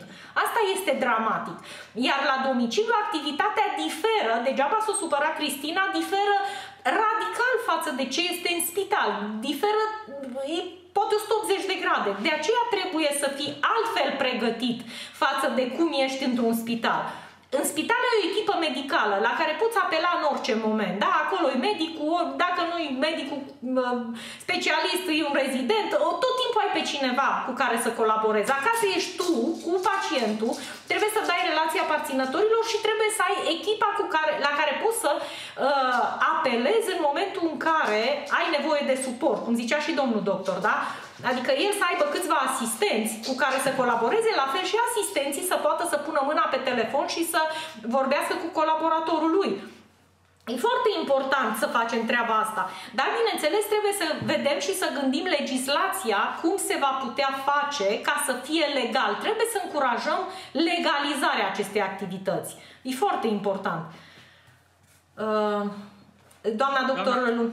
Zice că uh, vor fi foarte mulți care vor căuta serviciul acesta și eu zic, doamna doctor, că uh, până la urmă trebuie să uh, adunăm toți asistenții disponibili să facă treaba asta și să-i pregătim. Eu acum încep să lucrez la modulele de învățare pe procedurile care se fac la domicilii. Am scos toată lista de proceduri care uh, uh, se pot face la domicilii ca manopere autonome și manopere delegate fără prezența medicului, da? conform ordinului dat de ordinul asistenților și am început fiecare procedură să o gândesc și să o perfectez ca un modul de învățare la domiciliu, da? unde altfel trebuie să aibă conduita asistentul. Bineînțeles că după ce va fi pregătit, el poate să, lui poate să apară acolo. Uh, încă o, încă o treabă foarte importantă. Uh, asistentul va putea să primească review-uri din partea medicilor, a pacienților, uh, fiecare să primească review-uri din partea celorlalți, lucru care te va face pe tine să înțelegi nivelul lui de profesionalism, nivelului de implicare, pentru că nu-i tot una să dai un telefon și asistentul să-ți răspundă în momentul ăla și să fie disponibil sau uh, să dai un telefon și să ai nevoie până când reușești să iei legătura cu el de ore întregi, da? Sau la fel și fundațiile, pentru că Va fi o platformă unde se vor putea înscrie și fundații și asociații de îngrijiri la domiciliu sub copertina căruia asistenții vor putea să desfășoare activitatea. Uh, ori nu-i tot una ca pacient când intru pe o platformă și găsesc o fundație sau găsesc un asistent, mă uit la uh, review-urile lui și o să văd acolo comentarii. Bă, păi ăsta au venit la mine în casă, băi, și mi-o m-o repezi, nici nu au vorbit cu mine cum trebuie, nu au avut răbdare să-mi răspundă la întrebări. Știți? Pacientul de multe ori, 50% din tot, toată procedura la domiciliu este comunicarea. Poate nu credeți, dar 50% are nevoie să îi se explice. Chiar dacă mă duc pentru un intramuscular, de multe ori stau 45 de minute pentru amărâtul ăla de intramuscular, dar are nevoie de o grămadă de explicații cu privire la tratamentul lui, cu privire Sigur, fără să-ți depășești uh, competențele uh, cu ceea ce...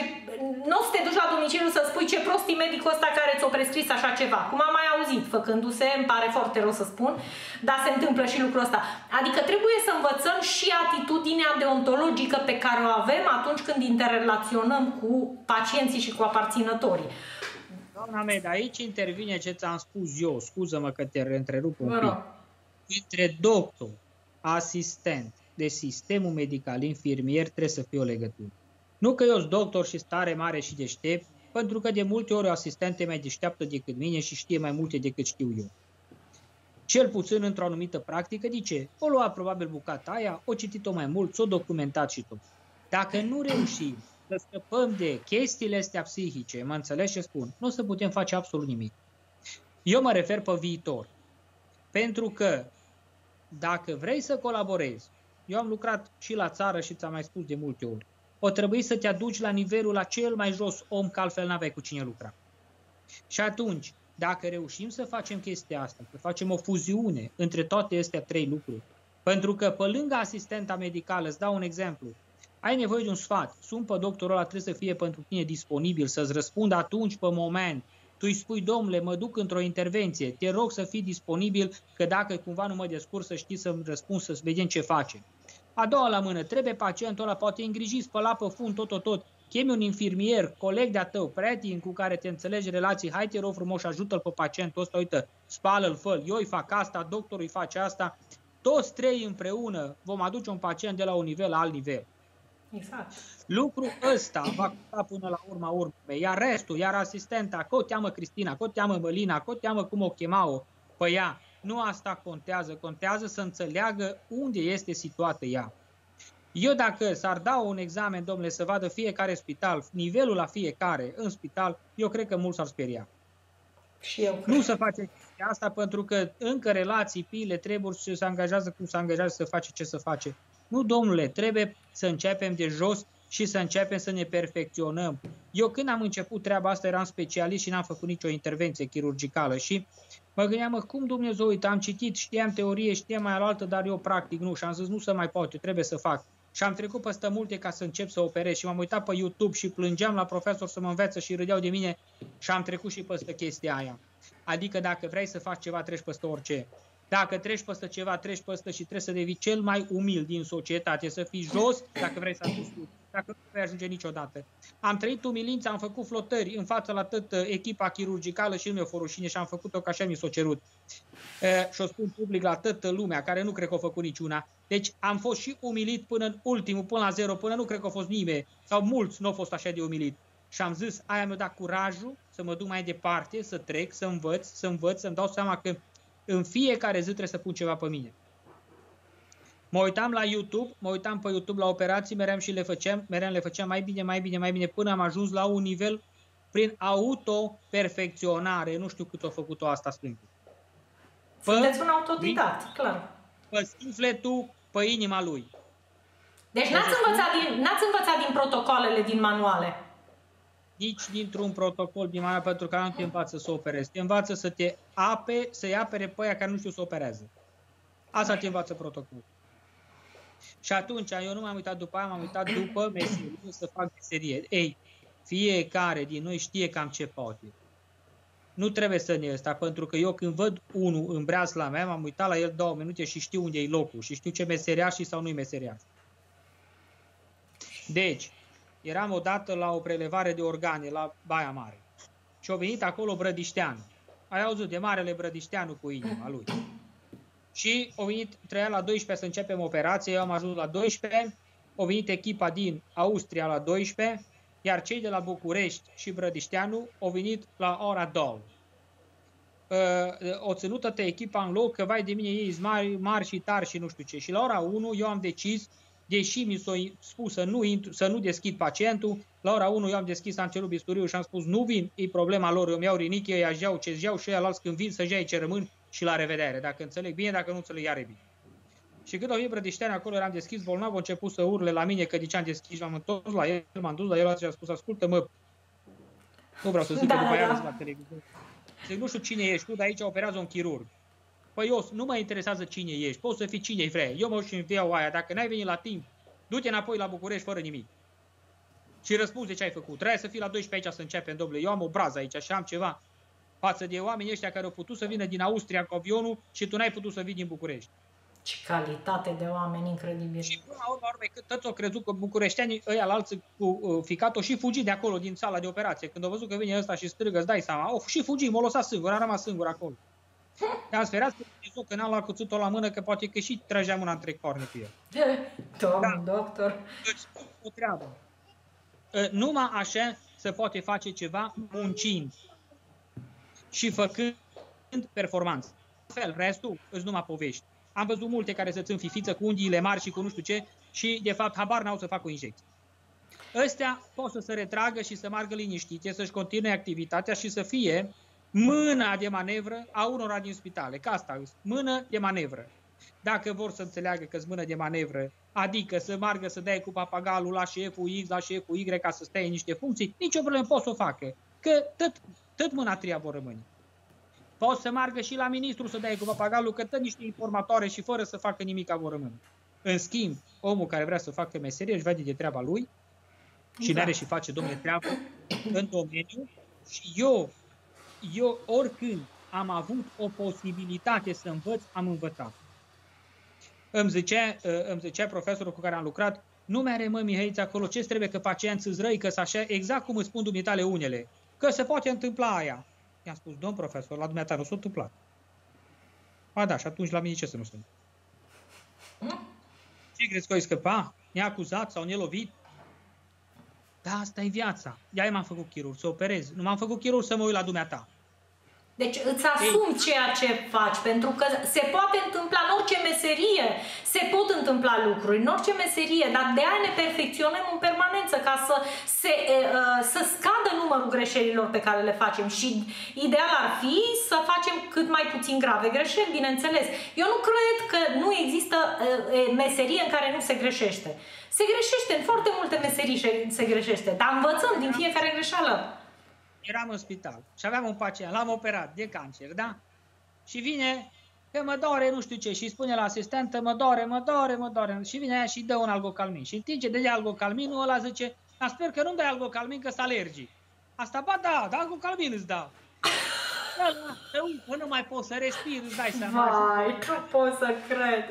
Mă omorâți, zice, am scăpat de cancer și mă omorâți cu algocalmin. Trec Trec trei luni de zile, trec trei luni, vine din nou la spital. Aceeași Va... problemă, durere, aceeași asistentă. Vine algocalmin. Bag algocalmin, dar ăsta zice, sper că nu e algocalmin. Ba, ba da, algocalmin ți-a dat. A da, arătă mă omor, nu mai viu aici. Fac de cap. Deci, ăsta m-a scăpat de cancer și tu mă omor cu algocalmin. Fac de cap. Da. Uh, Ideea e că trebuie să înveți din greșeli, că ăla, ăla e cel mai prost om care nu învață niciodată din greșelile, nici măcar din propriile greșeli. Și ăla e deștept care reușește să învețe din greșelile altora, bineînțeles. Adică... Treaba asta, eu vă spun o treabă, e un pic de efort și un pic de efort destul de mare. Ca să pot să fac ceva, o trebuie să fac așa, mi-am sacrificat nopți întregi, erau săptămâni în care trei zile eram pe drum, făceam recoltări în trei orașe diferite, făceam consultații în alte patru județe uh, și uh, vineam de acolo și intram din nou în operație, dormeam pe mașină și era o, un cer dintre ăsta în care au fost și 8 zile în care n-am ajuns acasă, eram pe mașină, dormeam și la spital, atâta tot. Și asta au fost uh, zile întregi, au fost ani în care meream la lucru dimineața la 9 și ajungeam seara la 1 noapte acasă, asta era una după alta. Erau alți colegi de-ai mei rezidenți care mereau la chefuri, la distracții și mașina mea o vedeau tot în același loc, adică la locul de muncă. Mă sunau, bă, tu n-ai mai plecat acasă, sau ți-ai lăsat mașina acolo ca să vedem noi și tu ești acasă? Zic, da, mă, mi-am lăsat și eu, fac un pot. Eram în frontul, în frontul muncii. Ca să poți să faci, nu există nimic fără sacrificiu. Eu asta spun pentru că e timpul să facem ceva E timpul să ne ridicăm și noi, să nu mai fim niște barbari de români proști care ne poate conduce oricine așa de ușor încât uh, creează un prost și condul că poți să-l conduci ușor, n-ai nicio problemă. Aș vrea să văd oameni deștepți. Eu ți-am spus săptămâna asta când mi-ai zis de proiectul ăsta și ce ți-am spus, Doamne, ești mai deșteaptă decât mine, am tăcut și te-am ascultat. Așa am spus. Deci a fost prima oară când mi s-a spus așa ceva. Domnul doctor Suciu spune, doamna asistentă, sunteți mai deșteaptă ca mine, am tăcut. Am vrut să-l înregistrez, dar uite cum ai zis-o odată în direct, o să cropuiesc chestia asta. Am spus-o că așa a fost și așa e, domnule, e o idee bună. De asta ce se întâmplă când discuți cu oameni deștepți, îți creează o plăcere. Când discuți cu oameni proști, abia aștept să închizi televizorul să pleci. Sau, dacă nu te integrezi între ei, iară vei închide televizorul și vei pleca. Că nu se poate, niciodată. Iar dacă vrei să ajungi acolo, la masă, să înțelegi cuvintele respective și să înțelegi simțurile respective, trebuie să muncești. Asta e singura treabă. Niciodată la masă nu va sta un poturos cu unul, cu unul harnic, niciodată nu a fost, un gazdă și cu un sărac nu vor sta la aceeași masă niciodată. Nu se va putea. Nici noi nu sta ca țară la masă cu țările bogate niciodată. Nu vom putea să o facem niciodată. Nu o să ne primească. Ne-au primit o singură dată pe regimul Ceaușescu. Ceaușescu. Atunci ne-au primit la masa lor că am fost, am fost pe picioarele noastre. De atunci încolo și până atunci, niciodată nu o să ne mai primească nimeni. Dacă noi nu reformăm treaba asta cu asistență la domiciliu, că eu ți-o spun ce treia făcut, dar nimeni nu m-a băgat în seamă de la prefectură și până la numai de, cum să spun, așa de ochii lumii, trebuia făcut. Cum s-au activat liniile de telefonie, acolo să răspunde la telefon, să înregistrează pacientul, să dădea la voluntarul următor, mereu luam proba, aia o dădeam la laborator, laboratorul dădea înapoi rezultatul și după aia cu acțiunea la domiciliu, la marea parte din pacienți putem să mergem să facem acțiune la domiciliu, să le pui o branulă, să le pui un tratament, da. iar cazurile grave să ajungă numai în spitale, cazurile grave. Era rezolvarea problemei extrem de stimplă a unor autorități extrem de incompetente. Nu se poate, doamna Meda, să fim conduși de niște playboy și de niște oameni care habar n-au de nimic în sistem. Deci, uite-te, un, un palier extrem de rapid, cu câteva semnături, să putea rezolva de la un capăt la altul, astfel încât salvările să preia doar cazurile grave, uh-huh. iar paturile să fie oameni cu probleme serioase. Dar haideți să le spunem colegilor și celor care sunt aici că nu știu, uh, mulți cred că nu știu uh, care e protocolul când te îmbolnăvești de COVID, da? Sau ai simptomele specifice, da? Uh, ești răcit, simți că nu mai ai miros, gust, mă rog, bănuiești că e COVID, sun la medicul de familie. Medicul de familie îți spune că trebuie să sun la 112 ca să te planifici, să vină ambulanța la domiciliu, să îți recolteze proba. Ei bine, datorită solicitărilor multe care sunt, sunt, timpii de așteptare sunt între 3 și 5 zile, 2, 3, 5 zile, până îți vine ambulanța să-ți preleveze la domiciliu. Ei bine, în tot acest timp, sigur că da, este uh, onest să nu mergi la, la serviciu și să ai concediu medical. Ei, Aici ai o altă uh, chestie faină, că nu poate medicul de familie să-ți dea concediu medical pe COVID pentru că încă nu ești diagnosticat. Eventual, cu bunăvoință, poate să-ți dea pe urgență pentru vreo 5 zile, să-ți dea pe urgență ceva pentru altceva. O viroză banală, bun. Tu uh, ești uh, recoltat de către ambulanță, aștepți rezultatele și când ai un rezultat pozitiv, uh, Trebuie să sun la un număr la DSP București, număr de 021, este unic, național, asta mi-a plăcut cel mai tare, adică atât amar de populație, sună la un singur număr, unde trebuie să uh, anunțe că are un rezultat pozitiv. Gândiți-vă cât stai tu pe telefonul ăla, dacă reușești să prinzi telefonul, să anunți că ai un rezultat pozitiv. Uh, rezultatul trebuie, pentru confirmare, să-l trimiți pe mail, pe un mail. Bun. După ce aceștia au, au văzut rezultatul tău pozitiv, îți trimit sau îi trimit medicului tău de familie un fel de dispensă, un fel de informare prin care medicul are voie pe baza acelei dispense să îți dea un concediu de 14 zile de izolare pe cod de COVID. No, gândiți-vă voi cât îi toată treaba asta, da? Iar domnul doctor a făcut solicitare să, fac, să scurteze acești timpi prin recoltarea la domiciliu, să nu mai, să nu mai aștepți atâta la ambulanță, da? să scurtăm timpii de recoltare prin voluntariat. Ei bine, nu se poate. Nu se poate. Da? Uh, atunci ce să mai aștepți de la stat? Că s-ar putea face nu știu ce prin CNAS, că s-ar putea finanța nu știu ce. Nu, dragilor, nu se poate face nimica. Da? Adică ce putem noi să facem? Suntem foarte limitați. Ei bine, și acum vreau să vin uh, legat de proiectul pe care eu îl, îl inițiez acum și domnul doctor a zis că e dește proiectul, da?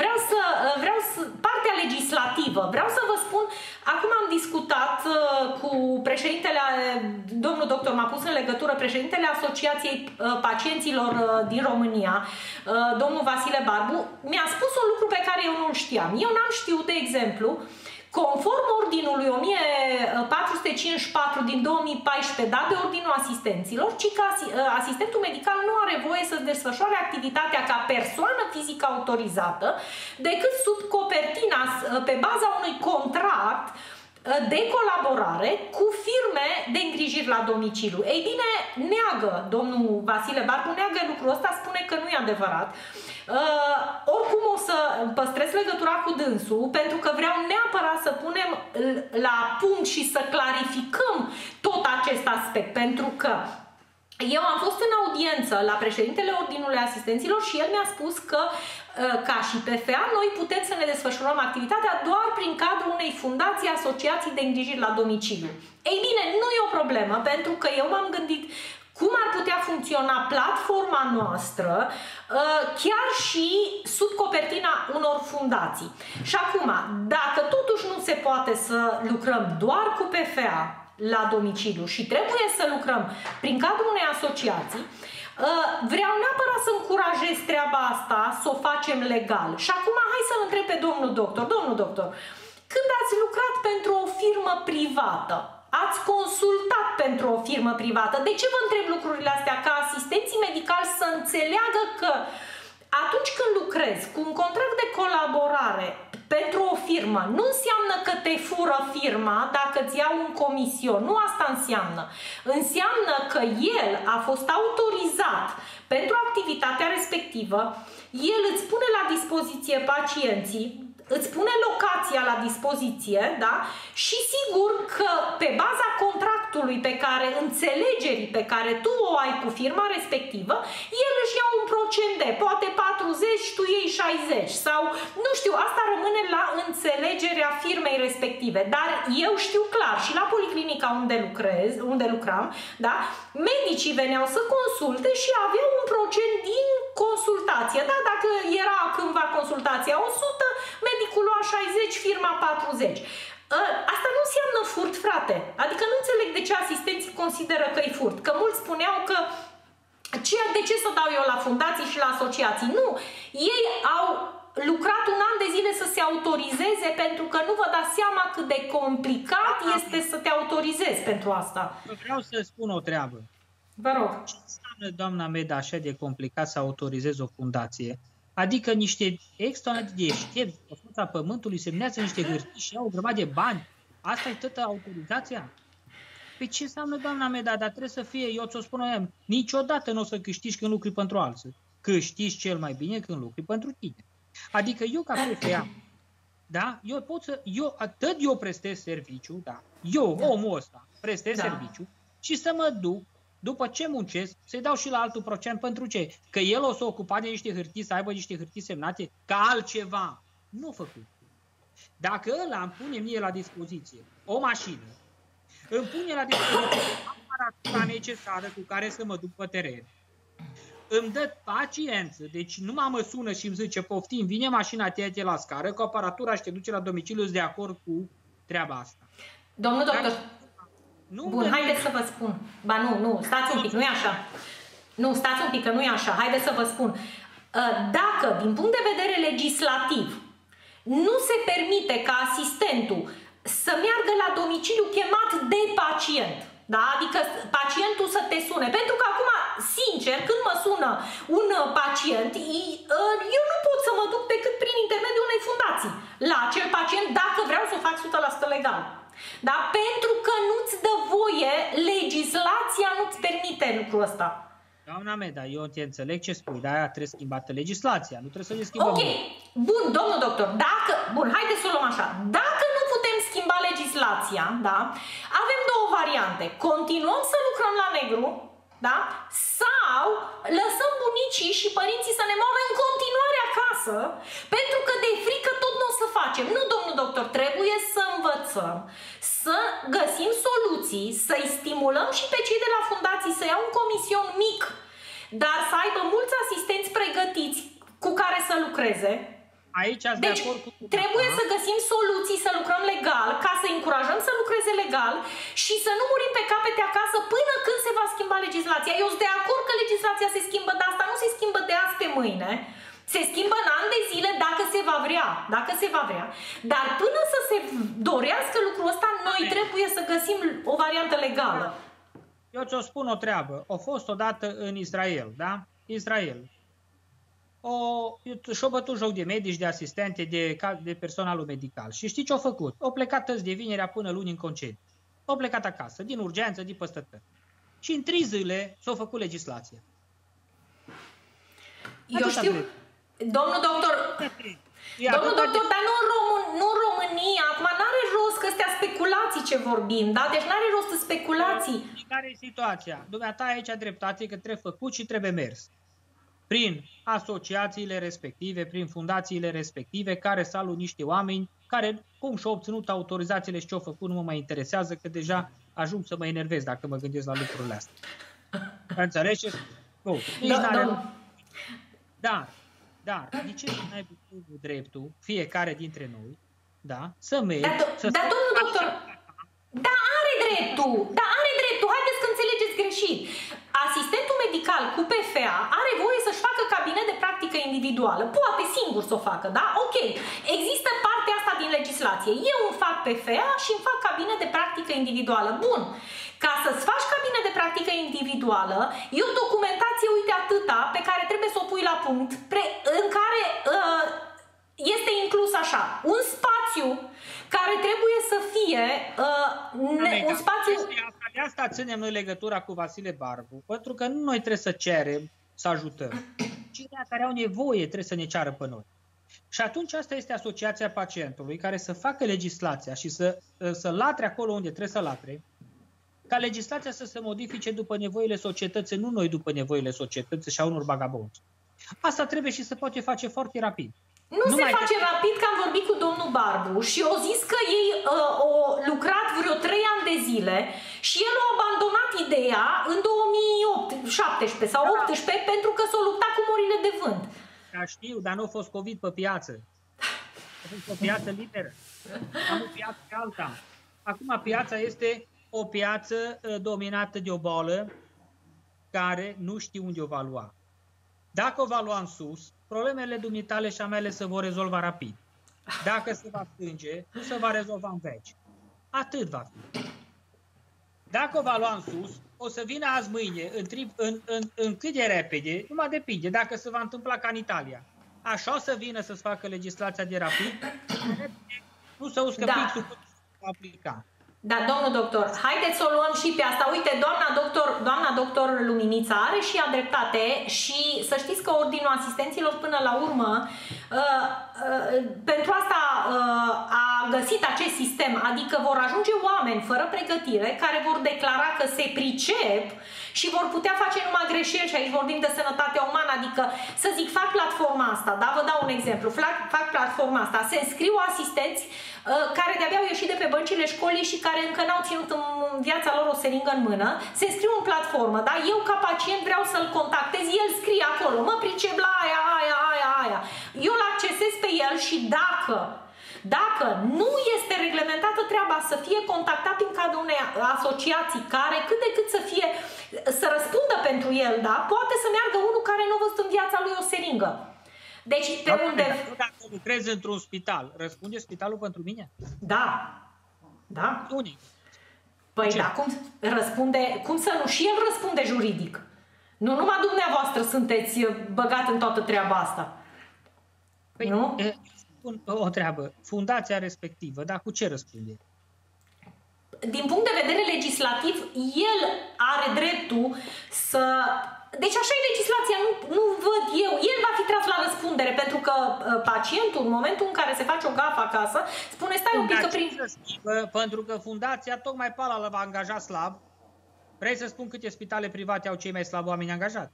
Nu trebuie să spun. Ei, Dar noi vrem să îmbunătățim lucrurile. Răspunde, răspunde de ce? Adică acoperă, vreți să spuneți, acoperă, bani, da. da. Găurile care le face ăla, eventual. Da, da, da, așa, așa, așa. Dar găurile nu la pacient, ci la ăia care îi apără. Așa e. Doamna doctor zice că poate să-i asigure sprijin juridic. Doamna doctor uh, Luminița, uh, să știți că nu le acordă sprijin juridic. Din păcate eu uh, colaborez. Avocat specializat pe domeniul medical are un oraș ca și Cluj-Napoca. 1, 2. Ați văzut. Și atunci ce sprijin? Nu, nu, nu, într-adevăr nu, nu este. Ar trebui să fie așa, doamna doctor, ar trebui, dar din păcate nu este așa. Din păcate nu este și... Na. Dar ideea este că nu poți, domnul doctor, deci din punct de vedere legislativ nu poți să faci treaba asta, adică ă, tu ca să-ți faci PFA-ul ăsta ai nevoie de un contract de colaborare. Ordinul asistenților nu te lasă să îți desfășori activitatea până nu, când te-ai dus la ordinul asistenților, tu trebuie, ai PFA-ul, te-ai dus cu hârtia de PFA, dar el zice, bine, bine, dar eu vreau să văd contractul tău de colaborare cu o unitate sanitară. Dacă contractul tău de colaborare cu o unitate... Asociația asta sau fundația este o unitate sanitară? Uh, care este un ONG, de exemplu, sau... Aia poți... o unitate sanitară. ONG-ul poate să fie într-un bloc, într-un apartament de două camere. Și așa și sunt multe, dar sunt autorizate. Păi, autorizate ca ce să facă? Ca și îngrijiri la domiciliu. Ca și curentul care iau bani pe curent și au un birou și o Domnul doctor, eu nu pot să contest, adică nu am autoritatea să... Poate știe cineva să ne răspundă la treaba asta. Ce înseamnă ONG-ul ăla? Un apartament cu două camere care dă o chitanță și o factură? Sau ce nu știu. Uh, na, ideea e că e discutabilă. Uh, atâta vreme cât fundațiile respective, asociațiile sunt acreditate pentru astfel de îngrijiri, ce pot să zic? Nu știu cum sunt făcute, cum nu sunt făcute, dacă ordinul asistenților nu te lasă să-ți desfășori altfel activitatea decât în felul acesta, în felul acesta trebuie să o facem. Nu are rost. Domnul doctor, acum le spun colegilor și cei care, cărora să aici, domnul doctor tot mă impulsiona să uh, deschid un SRL de îngrijiri la domiciliu, o asociație de îngrijiri. Cert că am sunat la inspectorul de la uh, Camera de Comerț care mi-a făcut celelalte autorizații pe care le am și mi-a spus clar că din punct de vedere legislativ nu există formă de SRL de îngrijiri la domiciliu, doar fundații și asociații. Există forme de SRL care au ca și obiect de activitate alte forme de îngrijire a sănătății umane. Asta este codul CAEN, alte forme de îngrijire a sănătății umane. Nu este firmă de îngrijire la domiciliu decât fundații și asociații care sunt ONG-uri și care la sfârșit de an trebuie să fie pe zero ca activitate financiară. Trebuie să fie pe zero. Da? Deci, este, nu știu, sincer, e o treabă legislativă. Eu, eu m-am informat din punct de vedere legislativ doar ce presupune ca să îl ajut pe un asistent să desfășoare această activitate în mod legal, pentru că asistenții nu vor să meargă de teama ilegalului și de teama acestor, uh, mă rog, oricum, cum zice domnul doctor, oricum dacă faci vreo prostie la domiciliu, tot răspuns, pentru că e normal să răspunzi pentru prostiile pe care le faci. Orice om trebuie să-și asume responsabilitatea faptelor, indiferent despre ce vorbim. Și acum intervine din nou pregătirea profesională, da? Adică atât de bine trebuie să fii pregătit să nu faci gafe. Asta păi este, punct. La ce ai zis dumneata, reiasă în felul următor. Dumneata și eu am gătat o școală care la sfârșit valorează zero dacă da. nu mă duc să-l pe unul în cur. Ioi, ce urât ați vorbit! Deci asta e adevărul. Păi asta da. este. Altceva eu nu pot să întâmplă. Adică eu dacă am terminat meseria mea, eu trebuie să lucru, doamnă, ca meseriaș, că de-aia meseriaș. Dacă zugrav, păi nu mă o să mă bag în 10 asociații de zugrav ca să dea ăla de lucru mie. Ci mă duc și zugrovesc apartament. De-aia m-am făcut doc, ca să tratez oameni. Nu m-am tras ca să mă duc să mă rog eu, unul să mă ia în asociația lui. Uh, da. Și să spun ăla ce să fac și să-mi dea ăla pe cine să tratez eu și pe cine nu. Bine, stați un pic că eu uh, gândesc platforma asta altfel. Adică eu gândesc platforma ca asistentul să poată fi vi- vizualizat de către pacient, să-l dorească pacientul dacă îl vrea pe ăla, pe ăla să-l vrea și pe... Da! Dumneata ce creezi? Creezi o platformă reală și corectă. Da. Asta trebuie să luăm legătura cu Asociația Pacienților, cu, o să-ți mai spună cu cine, de la Camera Deputaților în probleme de sănătate și cu un avocat doi bun din Cluj care pot să facă ce trebuie făcut ca lucrurile astea să meargă fără implicarea unor asoci- o societăți în afara sistemului. Adică, eu, de exemplu, acum, ca și cum ai zis cu Uber-ul, da, îți dau un exemplu. Păi, doamne, eu dacă vreau să asistez acum în Grigorescu un asistent, intru pe internet, dau Grigorescu, cel mai apropiat asistent pe probleme de urologie, dau pe chestia aia, văd 1, 2, 3, 4, 5 cât sunt acolo, îl sun pe primul sau pe al doilea sau pe al treilea, domnule, vreau să vii la mine, te rog frumos să vii. O venit la mine, mi-am făcut treaba, l-am plătit, mi-a dat o chitanță și o plecat acasă. Omul ăla are disponibilitatea să o facă, câștigă în funcție de cât vrea el și eventual dă la platforma respectivă o taxă lunară de întreținere și faptul că îi se gestionează situația, exact ca la orice chestie. Dar nu se poate. Nu se poate. Nu se Iar poate prin... El uh-huh. răspunde direct de, de ceea ce face. Da. Uh, nu se poate, domnul doctor, că de aia Uber au avut probleme da, juridice și au fost tras prin tribunale pentru așa ceva. Nu se poate să dai la platformă. Auzi, și aici e și o chestie medicală. dar funcționează și în zilele de astăzi. Da, pentru că au avut o armată de, au avut o armată de juriști, eu nu i-am. Pentru că se numește Uber, nu ceva românesc. Da, da, da. Ok. Uh, ideea este că uh, dacă legislația nu se schimbă, domnul doctor, nu o să se poată face treaba asta decât prin intermediul unei asociații de îngrijiri la domiciliu, da? Eu vă spun o treabă. Cine să ceară să se schimbe? Cere Bine, o să o cere. Nu, domnul doctor. O să o cerem noi ca și asistenți, noi ca și... O să o cerem. S-a cerut undeva chestia asta. Pentru că eu știu un lucru în societate. Nu este cerere, nu este nicio ofertă. Domnul doctor, haideți să vă spun la modul concret, da? Uh, am uh, un pacient care este jurnalist la Mediafax. Mă ocup de părinții lui. Când i-am explicat tot șarada cu îngrijirile la domiciliu și cu faptul că eu acolo mă duceam uh, pentru că m-a chemat el și mă duceam din punct de vedere uman, da? Deci mă duceam ilegalitate, dar era act umanitar ce făceam eu pentru el. Pentru că i-am explicat tot contextul, era foarte ofuscat că nu înțelegea de ce nu găsește o persoană medicală pe care să o angajeze 8 ore la părinții lui să stea acolo, pentru că ambii erau la pat și avea nevoie de îngrijiri medicale pentru amândoi. Și i-am explicat de ce și i-am explicat tot contextul. Și au zis nu există și i-am dat uh, ordinul asistenților 1454 din 2014 cu toate noile adăugiri, le-am arătat, au zis nu se poate, zice, dai voie să scriu la minister, zice nu, nu se poate, asta zice e o organizație care vă reglementează vouă activitatea. Zic, domnul, scrieți unde vreți dumneavoastră, zic, dar nu scrieți, uh, uh, scrieți în numele dumneavoastră ca jurnalist, să vedem ce zic ei. Ok, au făcut un memoriu, l-au scris, au primit în 30 de zile răspuns. Știți care a fost răspunsul Ministerului? Uh, activitatea asistenților medicali din România este reglementată de Ordinul Asistenților. Ei coordonează această activitate. Activitatea medicilor este reglementată de Colegiul Medicilor. Aceștia uh, guvernează activitatea medicilor. Punct. S-a terminat și aici am închis orice cale de comunicare, domnul doctor. Ce, ce să faci? Cu cine? Ce să faci?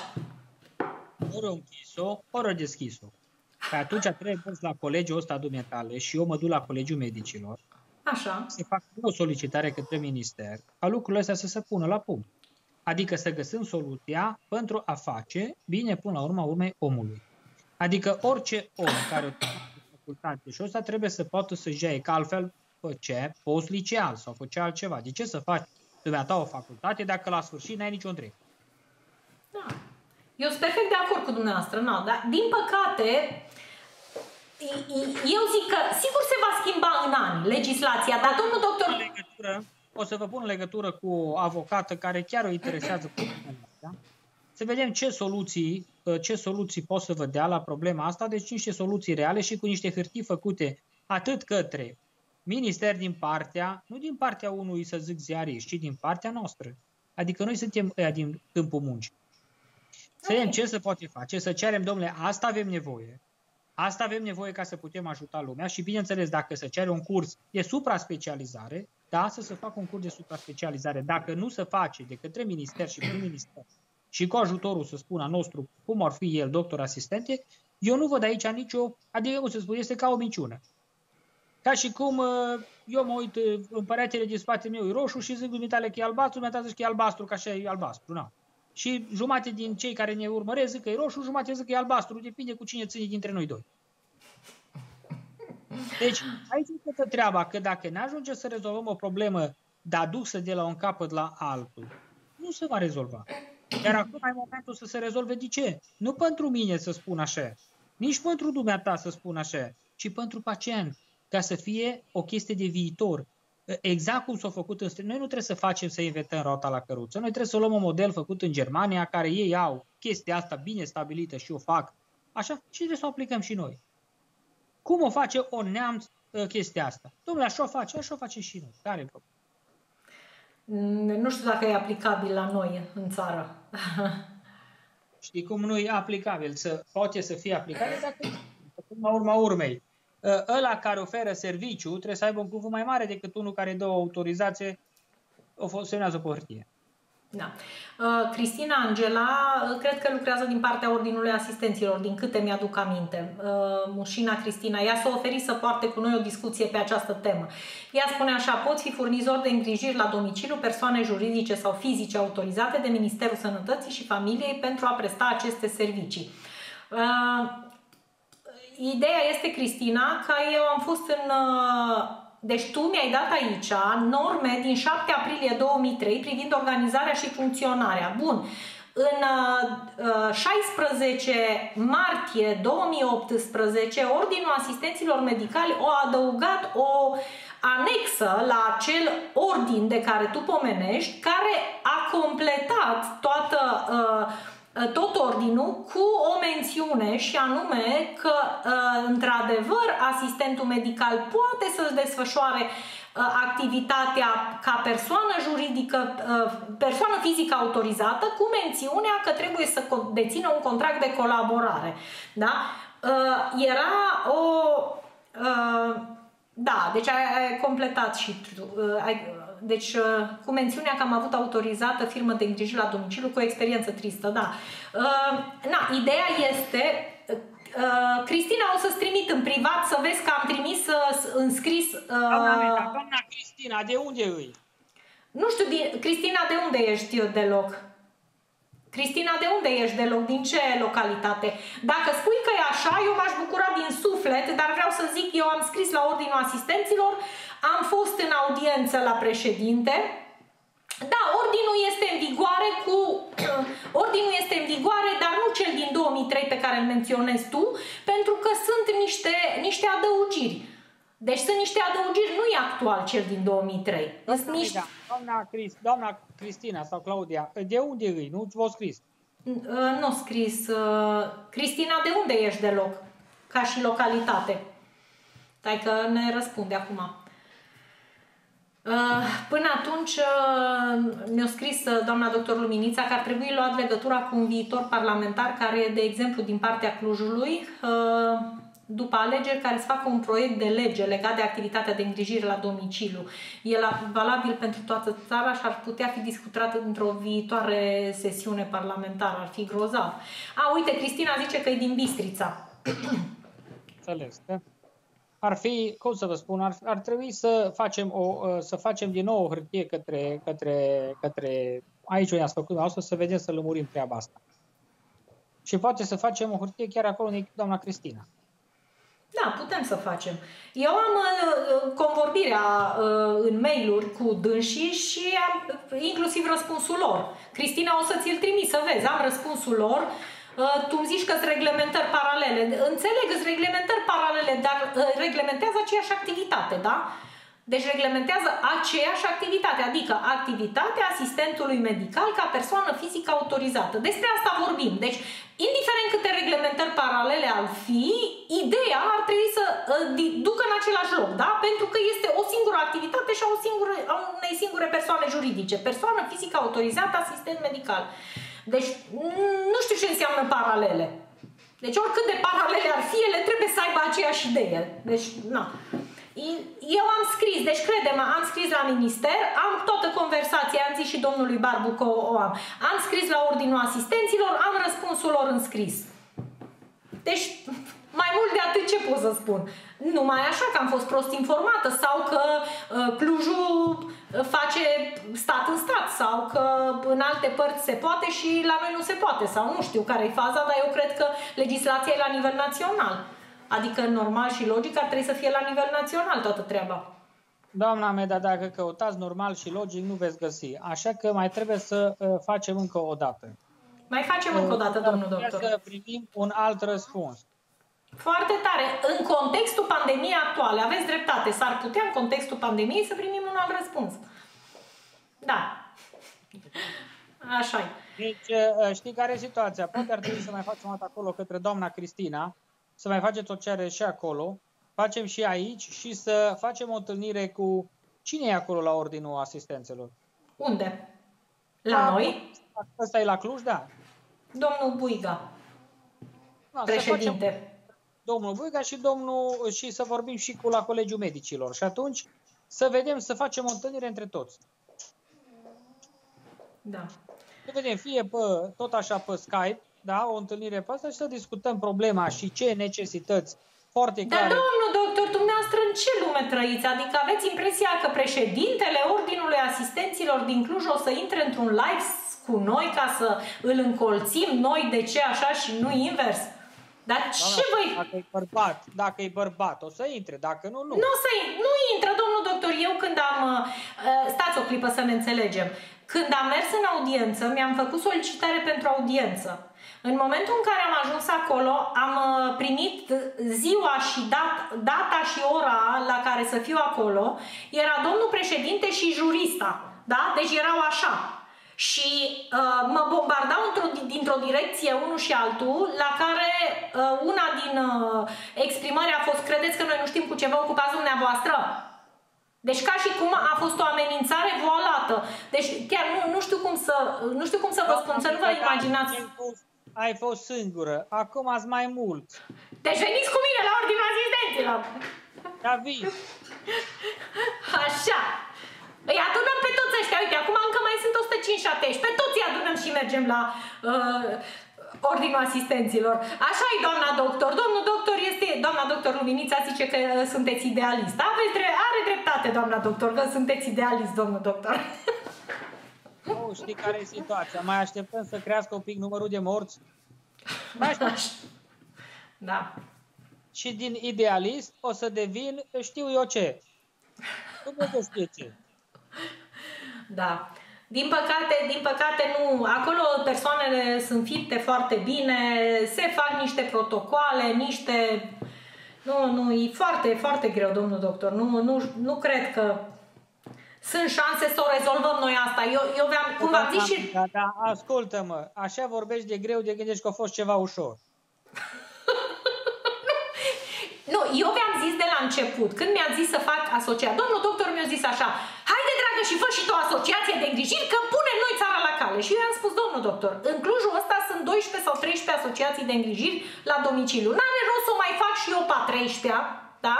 Pentru că nu am cu cine lucra, pentru că mi-au un an de zile să mă autorizez, pentru că nu am spațiu cu destinație medicală. Deci Atenție, cei care vreți să vă faceți un cabinet de practică individuală, nu o să puteți să vă autorizați în apartamentul vostru, pentru că ordinul nu permite decât dacă ai un spațiu cu destinație medicală întăbulat pe spațiu cu destinație medicală. Adică dacă tu ai o garsonieră, trebuie să te duci și să schimbi spațiul de locuit în spațiu cu destinație medicală. Trebuie să-ți pui un uh, contract cu o firmă de deșeuri, iar uh, colectarea deșeurilor se face reglementat într-un anumit fel. Adică să nu vă imaginați că poți să-ți faci o, așa cum te taie pe tine cap, un cabinet de practică individuală. Pe lângă asta, ai un nomenclator cu toată dotarea necesară, fără de care nu te autorizează ca și cabinet de practică. Am citit din firapăr toată documentația, că eram foarte curioasă ce SF se întâmplă acolo. Deci credeți-mă, știu despre ce e vorba, domnul doctor. Și vorbesc greu pentru că un, un an de zile m-am luptat cu asta și am abandonat. Și știți ce am zis, domnul doctor? Facem o platformă și le dăm în cap cu legea lor cu tot. Auzi, Legis... Ștefan cel Mare, o pierdut mai multe lupte decât o câștigat. Se duce înainte. Știu. Da, domnul doctor, trebuie să luptăm cu legislația și să-i batem la fund cu legea lor, da? Deci nu există. Așa trebuie să găsim soluții ca să putem să ne ajutăm bătrânii și copiii folosindu-ne de legislația actuală, nu să mai așteptăm 10 ani până să schimbă legislația. Deci eu vreau să fac platforma asta până în primăvară și din primăvară vreau oamenii ăștia să poată lucra legal, dar să ne folosim de legislația actuală, da? Ca să putem să-i ajutăm pe oamenii noștri de acasă. În trilu nu există, noi nu mai stăm încă până să schimbă legislația, până vine un parlamentar, până nu mai știu ce se întâmplă. Trebuie să găsim soluții no, așa. Am spus că ești mai deșteaptă decât mine, că o să găsesc soluții. Da, clar o să găsesc, domnul doctor. Eu am mai zis-o și vă mai zic și dumneavoastră, nu știu dacă v-am zis. Eu am citit odată definiția legii și mi-a plăcut maxim. Legea e o poartă imensă peste care lei sar, pe sub care câinii se strecoară și de care boii se lovesc. No, bou nu o să fiu niciodată precis. Leu nu am potențialul financiar să fiu leu, dar măcar un cățeluș o să fiu precis. Deci nu există, nu există. Așa că tot o să trec pe sub ușa aia. Ai văzut? Deci treaba e că trebuie să facem ceva. Acum e momentul să se facă toți cei care vor să facă ceva. Dacă poți să faci platforma asta, va fi o chestie importantă. De ce? Toți care se vor alinia, adică toți cei care se vor adera la platforma asta, înseamnă că vor să facă treaba asta. Exact, exact. Știi exact cam câtă lume vrea să facă într-adevăr treaba asta. Pentru că dacă 150 de oameni din mii care sunt, înseamnă că nu se vrea să se facă chestia asta.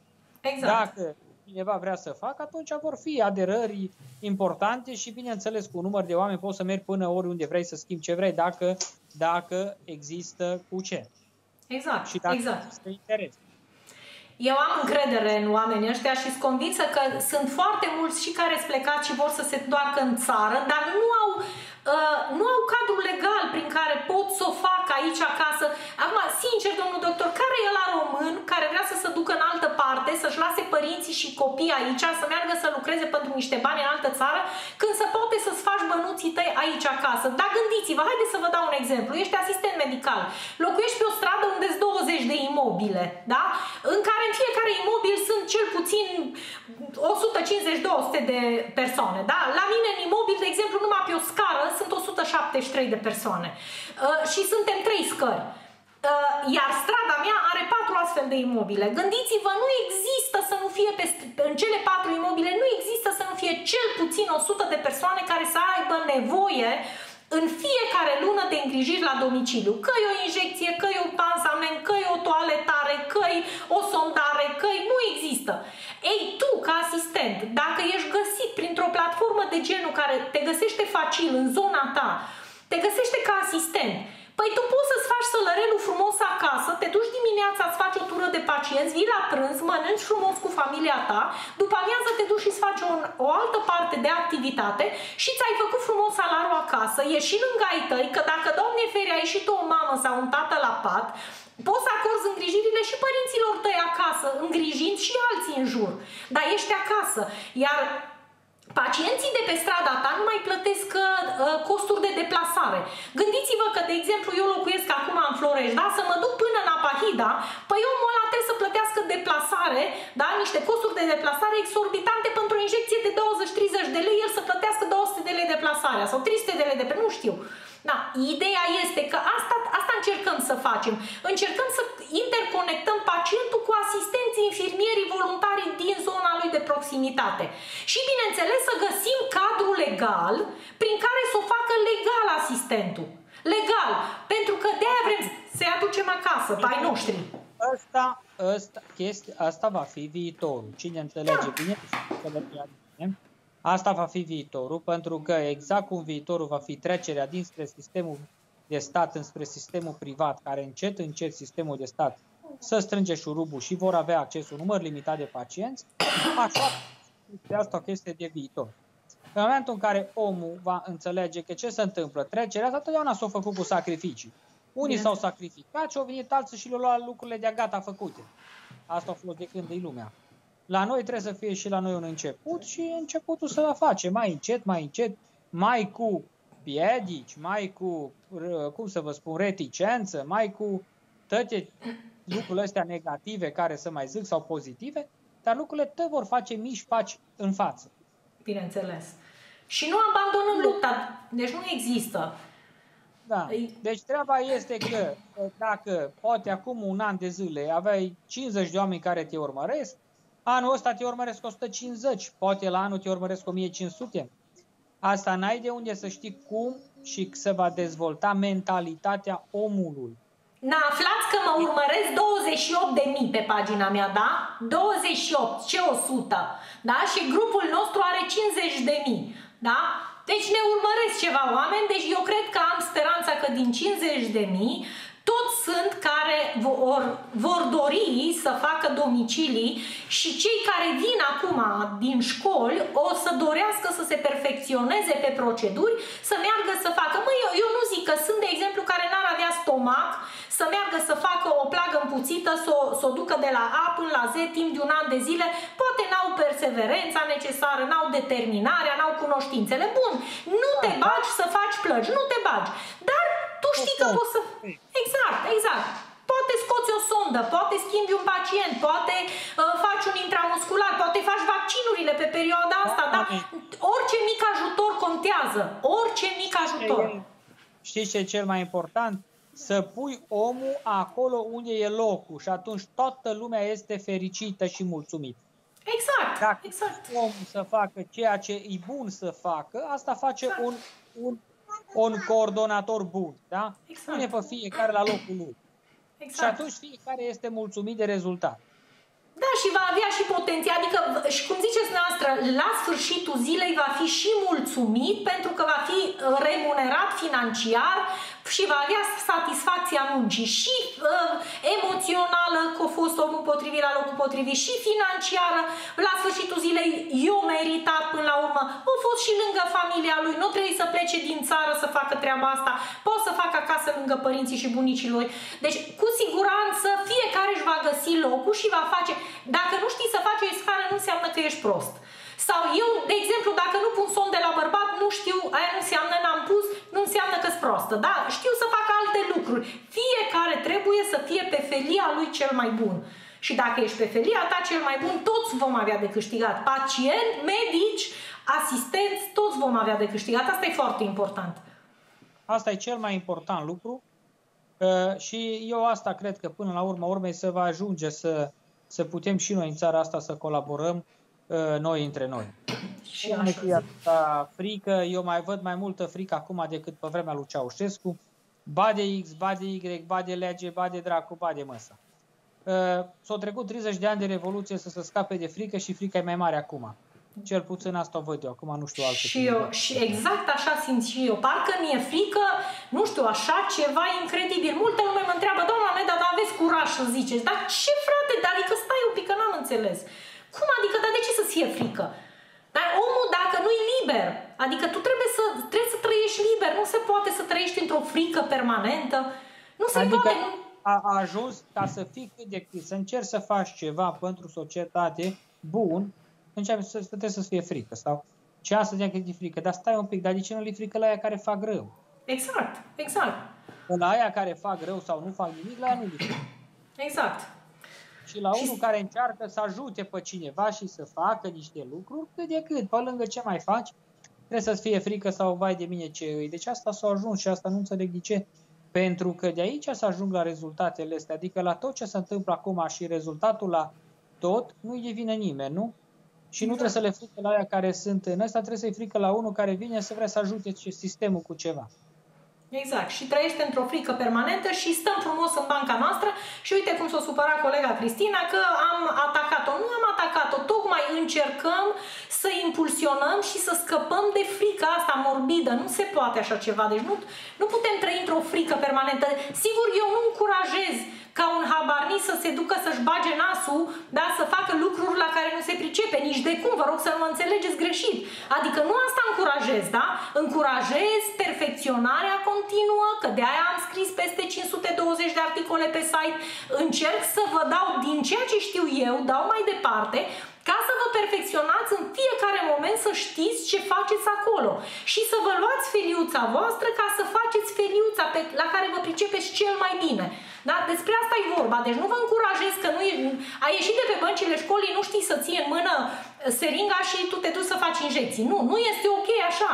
Pentru că pacientul tău da zici... Nu aveți dumneata, aici trebuie făcut. Asta trebuie făcut. În momentul în care iasă de pe băncile școlii și nu știe chestia aia, Trebuie mers înapoi la școală și pus întrebarea, doamne, de ce se întâmplă treaba asta? Sau, domnule, de ce școală? Cu trei ani de zile sau patru de pregătire în care nu știe. No, aici trebuie mult să ăsta. Adică nu, cu ce faci? Faci o școală după școală, nu? Da, cam asta fac. Eu cam asta fac pe site-ul meu, fac școală după școală, pentru că, da, bine, domnul doctor, într-adevăr, ă, cu bagajul informațional cu care iese din școală este practic ce să vă spun eu, zero, că uh, știi noțiunile elementare, teoretice, da? dar nici alea în totalitate. Pentru că am avut uh, uh, surpriza să constat că uh, nu știu noțiuni uh, elementare de... Vă dau un exemplu, da? uh, specialitățile, da? Adică dermatovenerologie, am avut surpriza să constat că nu știe ce-i specialitatea. Am întrebat de la ce vine dermatovenerologie. Și când am zis, hai, derma, au înțeles că e de la piele, venerologie de la vene, mă întreabă. Deci, domnul doctor, dacă specialitățile nu le cunoaștem, da? Bine, ai astea situații izolate probabil, da? Deci sunt uh, asistenți și asistenți. Cum ziceți, că unii nu sunt făcuți pentru asta, se duc pentru diplomă la școală. Dar chiar și cei care se duc și învață, uh, bagajul este pur teoretic, mai ales acum, acum și mai uh, dramatic, pentru că nu mai ai unde să te perfecționezi. În spitale nu-i mai voie, da? adică stagii nu se mai fac, aici va fi și mai dramatică treaba. Deci, vezi dumneata că totuși când construiești ceva, dacă lângă doi oameni să mai adaugă unul, ăla învață de la a doi. Exact, exact. Dacă mai ia trei să mai adaugă, ar fi șase, nu vor fi. Exact. Acum... Șase, dacă să mai adaugă câte unul, vor fi 12. Și tot așa. Deci da. noi nu putem decât să reconstruim cât de cât, dacă, dacă, eu nu zic așa, că nu zic că nu vreau să zic, domnule, vom face sau nu vom face, nu știu. Dacă vor fi doritori. Eu, vă mai dau un exemplu și cu asta cred că încheiem în seara asta, că cred că, cred că se plictisește și lumea. Așa. Vineri, așa ceva, a fost o prelevare de organe, ceva a fost transplant vineri, da, vineri după masă. Toți au plecat rezidența acasă, nu sta decât 1, 2, 3 la transplant. Acum 10 ani, domnule stăteau în 10, 11, să vadă cum e un transplant. Deci, dacă aici să vrea să se meargă în societate, spre direcția asta, în care nu mai este un interes, nu mai este, ne facem treaba și la revedere, că ta treaba am plecat, atunci aici să va ajunge. Dar atunci să nu ne mirăm, e rezultat. Uh-huh. No, vedeți, domnul doctor, deci uh, și aici nu e vorba de faptul că nu-ți lăsați, da? Adică pe rezidenți nu-i hâșâiți acasă, da? Deci ați vrea să rămână să vadă, dar nu vor să rămână, pleacă. Păi nu, doamnă, că zice exact cum o zis aia. Păi avem familie, dar avem nevastă, avem un copil. A, suntem după program, nu mai lucrăm. A, bun. Atunci, în momentul în care eu îi rog pe aia care gândesc așa să se trateze cu oameni care gândesc așa. Nu să meargă când au ei probleme, mă, la ala care e mai bun. Și gând are altul, trimite la ala prost. Uh-huh. Nu, domnule. Au venit unul odată la mine și au zis, domnul, mă, hai să facem afaceri. Păi ce fac? Eu fur parfumuri și tu le vinzi. Îi zic, mă, eu spun, eu, eu le vând, sigur că da, dar eu facem altceva. Tu fă afaceri cu oameni ca tine și eu fac afaceri cu oameni ca mine și zic să rămânem prieteni toată viața. Nu-i bine așa. Nu-i bine așa. No, exact așa. Ăia să fie tratați părinții. E oameni ca ei. Și atunci societatea s-ar echilibra. Păi atunci platforma, domnul doctor, o să cuprindă uh, în momentul în care asistentul se va înscrie pe platformă să-și decline acolo uh, disponibilitatea la numărul de ore de voluntariat. În sensul că dacă ești un asistent începător și dorești să te perfecționezi pe o anumită procedură, da? să poți să, te, să poți să aderi la un asistent cu vechime, să faci voluntariat alături de el la domiciliu, da? pentru procedura și învățarea procedurii respective. Să faci anumite ore, adică, domnule, impui atâtea ore și orele alea trebuie făcute nu pe hârtie, trebuie da. făcute da. în realitate. Domnule, atâtea ore au fost, atâtea ore trebuie făcute. Adică trebuie să, nu știu dacă am reușit să facem chestia asta și dacă știi că faci doi oameni, de-aia doi oameni ai creat tu. Exact, și i-ai, i-ai pregătit. exact. Nu, nu poți să formezi, să zic, mulți oameni, pentru că vin mulți și rămân puțini. Dar, ăia cât sunt, să știi că o ieșit din mâna ta. Da, da, da, și să fie profesioniști al meu. Părerea mea e valoare pe care o dai societății, iar dacă ă, aici va trebui angajările și tot, tot, tot ce se întâmplă să fie pe baza unui CV și pe baza unui mentor care dă o, on, on, cum să vă spun eu, care dă o chestie psihologică, o chestie, o hârtie scrisă despre persoana respectivă. Cu hârtia aia mere la angajare și pe baza aia ce, domnule, cine ăla, uite ce-o scris despre ăsta e omul. Adică îi faci o chestie, domnule, la mere. Nu așa cum se face acum, dă, fără nicio, fără nicio, cum să fără nimic. În străinătate, dacă te-ai dus în Germania și ai lucrat într-un spital și șeful tău ți-a dat o recomandare proastă, păi nu te mai angajează nimeni unde umbla tu. Atunci tu te zbați, indiferent unde lucrezi, să mulțumești uh, superiorul, să faci treabă ca să fii, să primești o apreciere bună. Da, da, da, ca să poți să fii Aici cotat. Ce, da. Dar bineînțeles, când ai mers într-un loc, dacă ai lucrat într-un loc, vii cu o apreciere de la locul de muncă. Când ai plecat de la locul ăla de muncă, păi nu poți pleca până nu ai o apreciere corectă și bună. Nu mă pot duce când eu îți no name, am, l-am lăsat pe ăla și am plecat. Da, nu da, lei, da. da, e, îți dă o apreciere de 2 lei, nu te mai angajează nimeni în veci. Așa deci, astea sunt la baza unei societăți cât de cât, uh, cât de cât normală la cap. da, domnul doctor, noi nu trăim într-una de aia. Dar nu-i problemă că nu trăim.